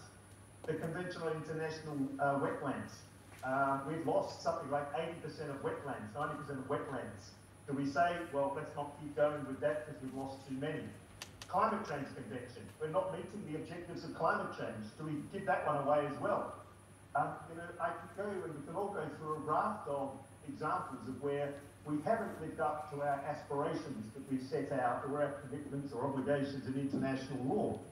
But if we think it's worth doing and if we think the issue is important enough, we give expression to it in international law, and it gives us an anchor, it gives us a focal point. This is what we'd like to do. This is what we want to achieve. Even though we know we're not always going to get there, it's, it's where we want to be. The Biodiversity Convention will have targets to 2030 after failing 2010, 2020. We need to persist, and I would say, while the UNCTOC hasn't been perfect, it is the instrument we have. We need to make it work. And this protocol is badly needed if we are actually going to turn around the scale and nature of these horrendous wildlife crimes. The current system is not going to get us across the line, that is for sure. Do we want to scale this up? And it's certainly something we've fed into the process of the EU directive. Um, and we've also very much appreciated, and I certainly did when I was with CITES, appreciated the great support of the EU in uh, dedicated to ICES, which was fantastic. So thank you very much very happy to introduce my colleague, Dr. Angus Nurse, who is at the Nottingham Trent University in the UK. Um, and as you can see there, he's the head of criminology and criminal justice there. He's an acad his academic work focuses on wildlife law, um, and he does have a new book out too about corporate environmental crime, which looks like a must read. And not only is he a successful academic, but he's serving as co-chair of the Wildlife Law Working Group of the UK Centre for Animal Law. But Angus was also a local investigator uh, for government in the UK and uh, an investigator also at the Royal Society for the Protection of Birds. So he has this uh, very useful and interesting mixed background of, uh, of academia as well as practical experience. And as a legal scholar, uh, as well as a criminologist, uh, he will talk to us today about international approaches to protecting wildlife. So Angus, over to you. Hello, um, I'm Angus Nurse. I'm head of the Department of Criminology and Criminal Justice at Nottingham Trent University in the UK. And um, sorry I can't be with you today. Uh, hopefully everybody can hear me okay. Uh, I'm going to pick up on a couple of points that have been raised by some of the uh, earlier speakers, particularly in relation to uh, international mechanisms relating to, to, dealing with wildlife crime, and also the, uh, the, the key point I think John made about the fact that wildlife crime is largely absent from international criminal law, but there are mechanisms that can be used to kind of bring it within that remit. So, um, about uh, two years ago now, uh, Tanya and I worked on a book on wildlife criminology, and uh, again, it relates to one of the points that I think John made earlier on uh, around the definitions of wildlife crime being quite quite varied. Uh, for the purposes of our work, we did include fish, we did include um, plants and trees, and came up with this definition uh, of what we considered wildlife crime to be. So it's beyond just trafficking, although uh, I will come back to trafficking and identifying this issue of for an act to be considered a wildlife crime has to be something that's uh, specified as such by legislation, has to be an act committed against or involving wildlife, and the broad definition of wildlife is uh, confirmed there, including plants or trees, which, uh, wildlife which forms part of a country's natural environment, or is of a species which is uh, visitor in a wild state, and should involve an offender. Uh, that could be an individual, corporation, or indeed the state. And the notion of state crime is kind of integral, or state corporate crime is linked to some of the points I'm going to make uh, later on. In this regard, we're not just looking at an unlawful act, but also looking at broader breaches of obligations towards wildlife. And they become quite important when you look at some of the mechanisms that can be used in order to address wildlife issues under international law. Now, in addition to the notion of wildlife being absent from um, international criminal law, or wildlife crime being absent from international criminal law, um, there is a point to consider in relation to the fact that most wildlife legislation, certainly that I've looked at, is distinctly not criminal. It's not designed as criminal law, it's not necessarily conceptualised as in criminal law, um, but what it does is it contains a number of things that then give us some of the offences that we might look at in relation to things like wildlife trafficking. Uh, but in a, in a, broad sense, what wildlife law does and what international wildlife law does is um, allows for control of wildlife. So killing and management of wildlife can be distinctly legal uh, where it's carried out in order to ensure that wildlife um, does not interfere unduly with human interests. It allows for ex exploitation of wildlife, uh, particularly as a valuable natural asset, and this will include things like um, poaching, um, not poaching, sorry, uh, trophy hunting, uh, and other sort of trade in wildlife. Um, it does protect uh, wildlife, but this is usually in the context of prohibition of acts which harm individual animals beyond the permitted level. So in looking at wildlife law, and I appreciate I'm probably preaching to a, an audience that understands this quite well, um, often it is the prohibition of certain acts which give rise to the problem rather than the trade per se. Um, and then there's a conservation element implementing other public good and wildlife trust doctrines. This is uh, important and relevant when we consider some of the international law provisions that do provide for um, the protection of wildlife and create some of our offences. Um, I had a couple of slides concerning CITES, which I took out since that's been covered in previous discussion. Um, but it is important to note the, the, points made by other people about the fact that CITES is um, not is not by itself criminal law. It requires implementation and the creation of offences by, by member states. It does signal some of the issues in terms of acts that should be considered to be unlawful and that should attract a sanction. Um, but essentially, it's not really criminal law, and there are certainly good reasons for retaining CITES.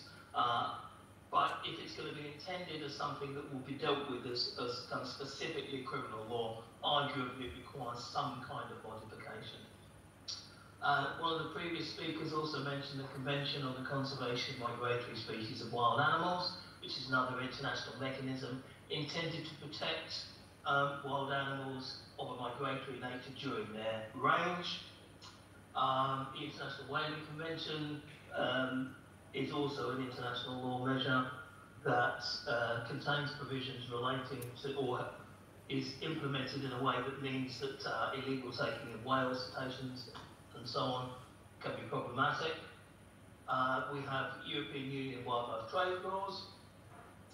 Um, the United Nations Convention Against Corruption um, arguably could be used in circumstances where corruption, where poaching is linked to corruption. Uh, generally speaking, we're looking at the application of international law through domestic law, and so the extent to which it is um, implemented, but also the extent to which it is enforced, can be problematic. However, in looking at this at the international level, um, there is scope to consider some of the actions of international courts and some of the enforcement action that they may carry out. Here, I'm going to talk briefly about the International Criminal Court uh, and the International Court of Justice, um, and wrap up with a few points around how we might look at international law as being something that can be used um, in order to engage with some of the problems of wildlife destruction, uh, if not wildlife trafficking. Now, before the break, there was a little bit of a discussion about the extent to which we have some of these mechanisms um, in international law, but they're not necessarily successful.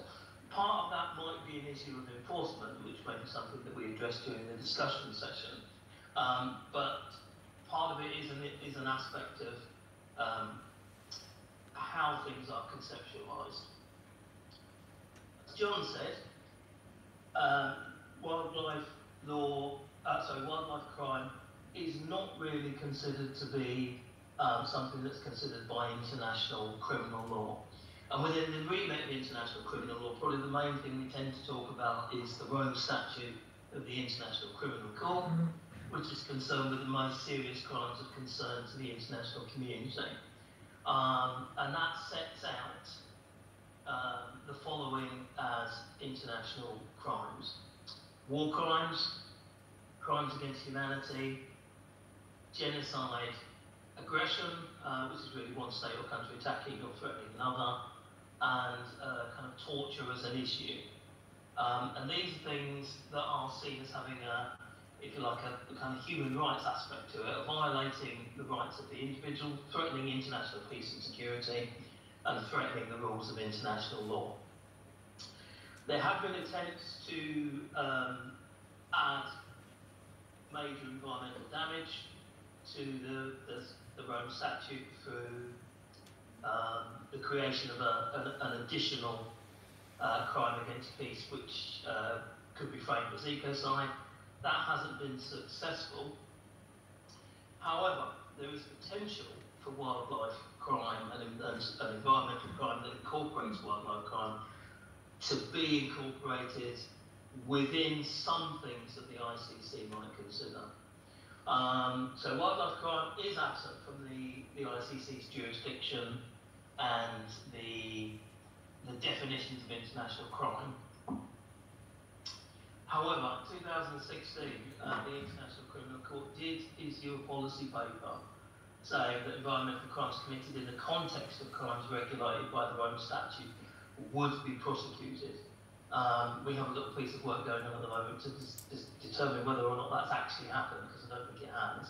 However, um, what it means is that potentially where wildlife or environmental crime takes place as part of another activity that's already covered by the Rome Statute, then potentially it is something that um, the ICC could look at. Um, so potentially in relation to a war crime or a crime of aggression, uh, the word potentially is doing a lot of heavy lifting there. Uh, it's, there's potential for the destruction of wildlife carried out as part of that activity and, and as part of a systematic process um, that meets the standard of gravity required by the ICC could be considered alongside the other things. Although, um, given the, the, clear absence, arguably what the Rome Statute requires is amending to clearly incorporate uh, wildlife trafficking or certain types of wildlife crime as a specific type of crime. Now, the enforcement of international wildlife law um, is perhaps the bigger issue rather than the content of international um, laws, because in looking at some of the content of uh, some of them are actually quite good, although again, as uh, was mentioned by one of the speakers before the break, it's the enforcement that is problematic, and there are a number of international conventions and, and uh, international wildlife law measures which are not um, rigorously enforced. Part of the fact, the reason for that is the fact that it largely remains in the hands of state agencies. It's an issue of state sovereignty, so states can perhaps decide how rigorously they are going to look at things. And compliance is predicated on a whole range of structural and non-compliance measures which aren't necessarily enforced particularly rigorously.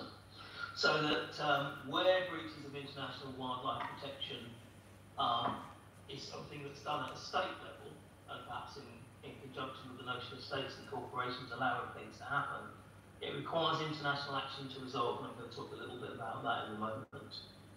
Um, the problem with the sanctions tend to be seen as advisory, and perhaps that's something to consider in relation to the UNCLOS protocol that we're talking about um, today. The extent to which there will be meaningful sanctions if we do, if something is introduced. As uh, John said in, in his answer to the question, the fact that there may be difficulties isn't, isn't necessarily a reason for not doing it, but it is worth thinking about how things are enforced. Now, um, second international mechanism to consider here, and these, these are not the only ones, but, but it's also the work of the International Court of Justice, which could arguably adjudicate on some international wildlife law matters that have been enacted by the UN, um, and could consider cases that are brought by one state against another where harm has crossed state borders. So where a state is effectively failing in its international obligations, or the state itself is acting illegally, it does raise the possibility of action being taken at an international level. There is also scope for advisory opinions on whether there's been a breach of law. I've got two cases to just very quickly talk through. Um, first one relates to uh, whaling, which um, was a case brought by Australia in 2010. Uh, I believe there may be some Australians in the audience who might want to chip in on this when there are questions um, where Australia lodged a complaint with the International Court of Justice, effectively asking the court to conclude that Japanese whaling, uh, or the Japanese whaling program that was carried out in accord, being carried out in accordance with scientific loophole um, that would allow this to happen, um, was actually anything but. It was not whaling carried out for the purposes of scientific research.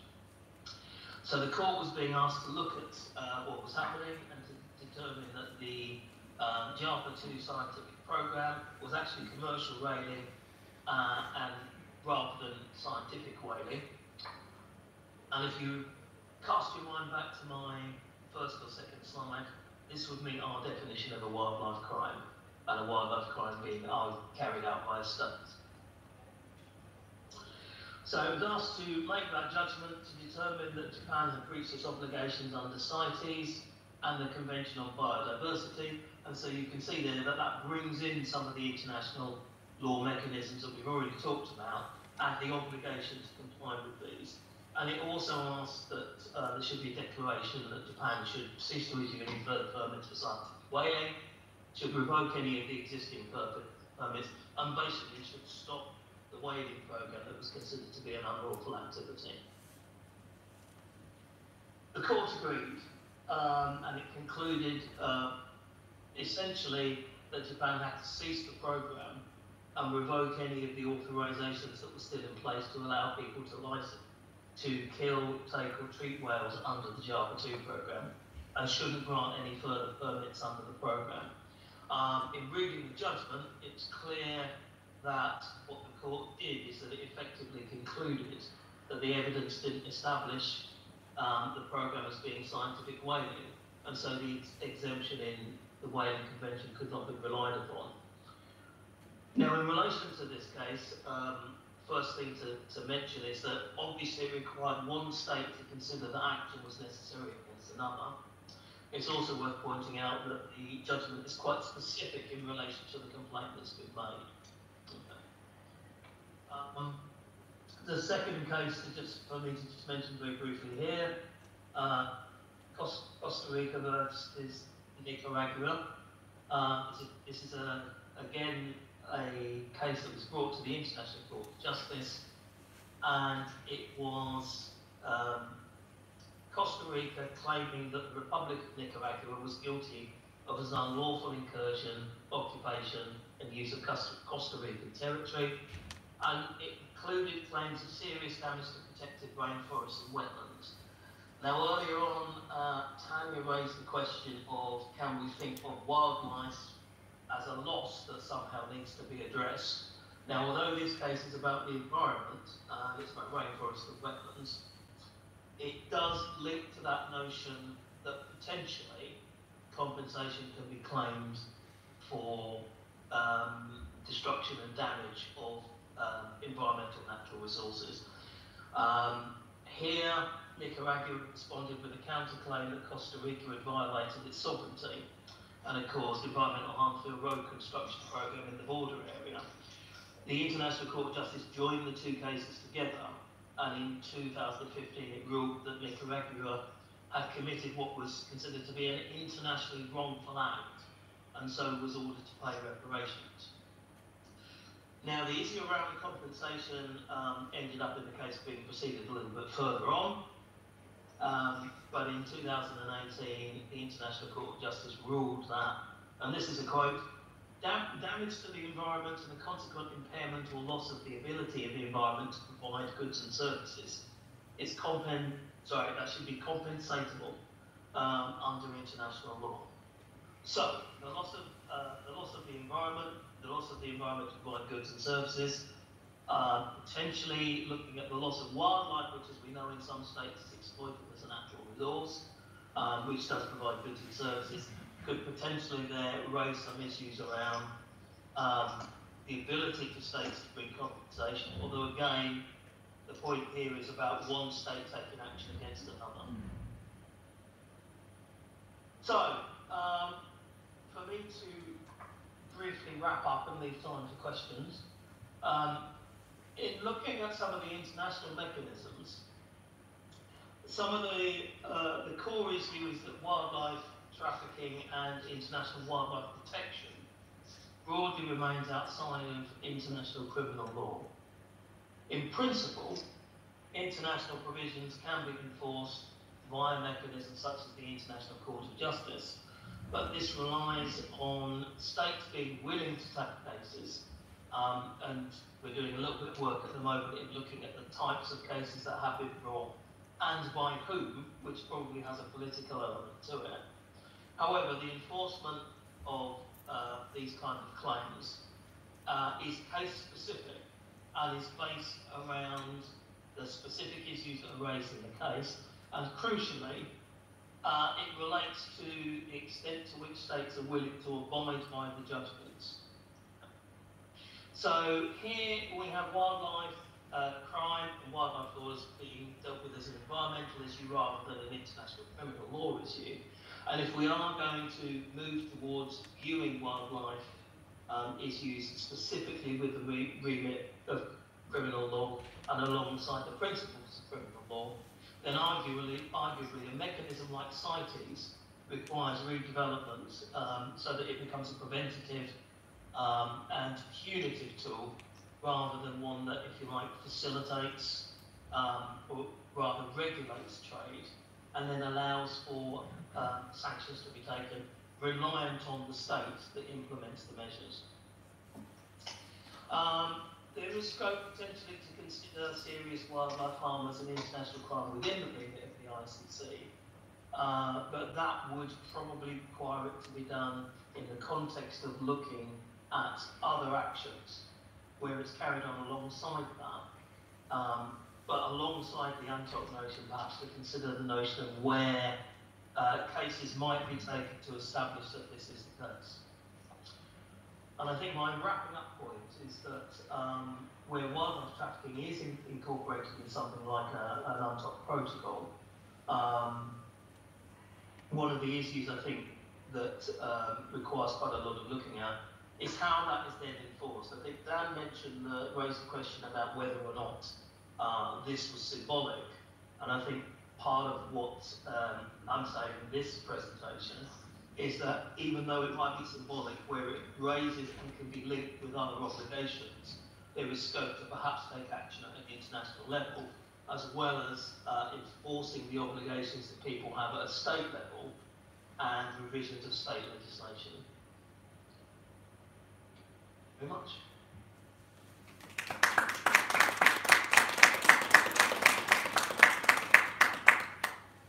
Thank you, Angus. Does anyone have any questions? Yes, Diego. Uh, Thank you, Tanya, and thank you to Dr. Nurse. Uh, If if it's possible to go back to to the beginning of the presentation, uh, the crimes uh, included in the ICC uh, statute, uh, because my question is directly related to that, please.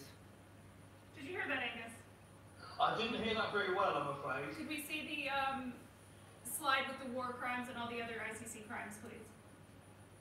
Yeah, I think I, I suspect I know what one of the questions is going to be. There's something I should probably take off that slide, but just bear with me.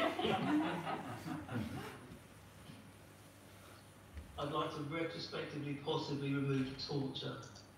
Is that what you were going to say, Diego? Cyber torture, but it's a different uh, realm. Yeah, my, my question is, um, in any case, why trying to go through a war crime or a new category and not a crime against humanity? Given that the war crime has a very, it has to be a very deliberate act of aggression in a very specific context.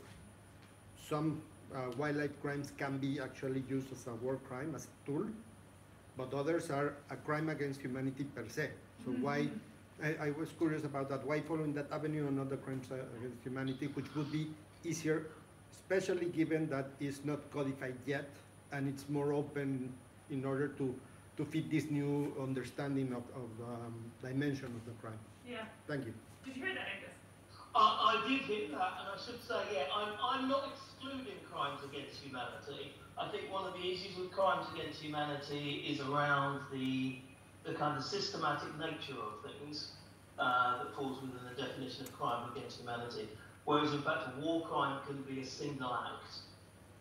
Uh, so even though it could be a single act committed as part of a large-scale activity, um, and also I think in relation to aggression, uh, it, that potentially brings in something that Daan was talking about, the, uh, the role of militias and armed groups, where they might be state-sponsored and be involved in um, things that are um, related to um, the destruction or the um, kind of trading in wildlife. I'm also thinking in terms of the fact of where we have militarised poaching, um, which particularly um, can certainly fit very clearly into some of the others.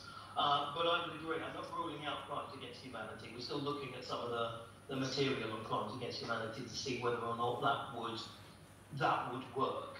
Uh, but to me, I think aggression and war crimes fit more easily, particularly when you think about some of the, uh, the kind of militarised nature of wildlife, and when you when you think about things, so let's say that again, the militarised nature of wildlife poaching, um, and also where, for example, um, you may have kind of um, uh, things around the killing of game wardens linked to some of those activities that clearly fit it within some of which potentially fit it within some of those actions uh, less so in relation to against humanity. But I absolutely agree. I would, I would look at crimes against humanity as well.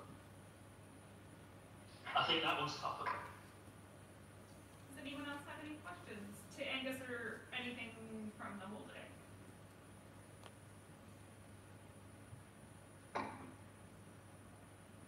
Uh, John or Madam Secretary, did you have any final comments or thoughts?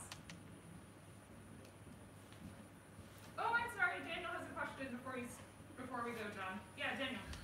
More of a comment um, on, uh, on Angus' presentation, and I think it's very interesting. Uh, you, you rolled up the ICJ case on whaling, and I think it's, it's very interesting to see the contrast to how a discussion on Japanese whaling was handled in CITES, because um, there was between I think 2018, 2019, and now there was a standing committee process on introduction from the sea of sei whale by Japan, and the Secretariat went the exact other way. It did not um, make any judgment about whether or not the, the, the whaling was scientific, but rather it focused specifically on are the right permits being issued and are the specific provisions that are uh, tied to these permits being fulfilled. And in the end, um, uh, the, the, the, secretary presented two choices to the standing committee. The standing committee judged that um, that, that the, the provisions of non-commercial were not fulfilled.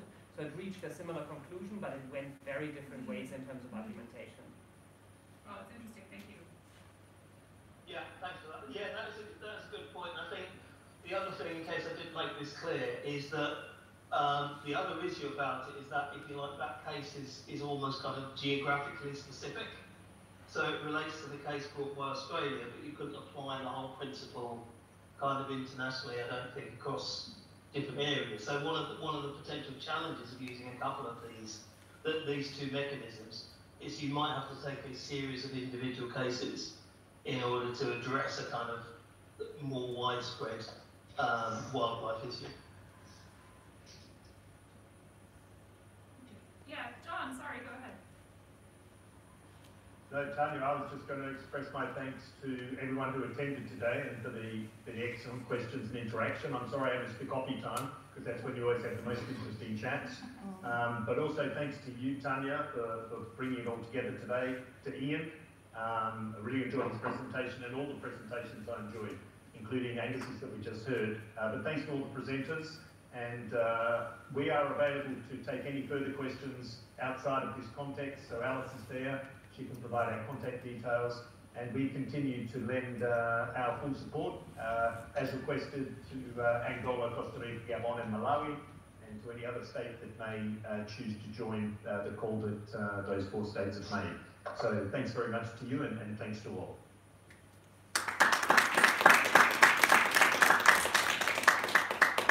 Yeah, the sincere thanks uh, from me uh, and my partners in this for coming today. And if anyone would like the presentations, the PowerPoints, or uh, any of the materials, please do get in touch. Um, I have some business cards if you don't know my email already. Um, so we're happy to share all of the information. Um, and then I can also send you the links to uh, this Teams recording or possibly a very bad YouTube video that's been going on. you that you might all want to watch later as well. But yeah, thank you so much, and do get in touch if you have any questions. Ian or Alice, any anything?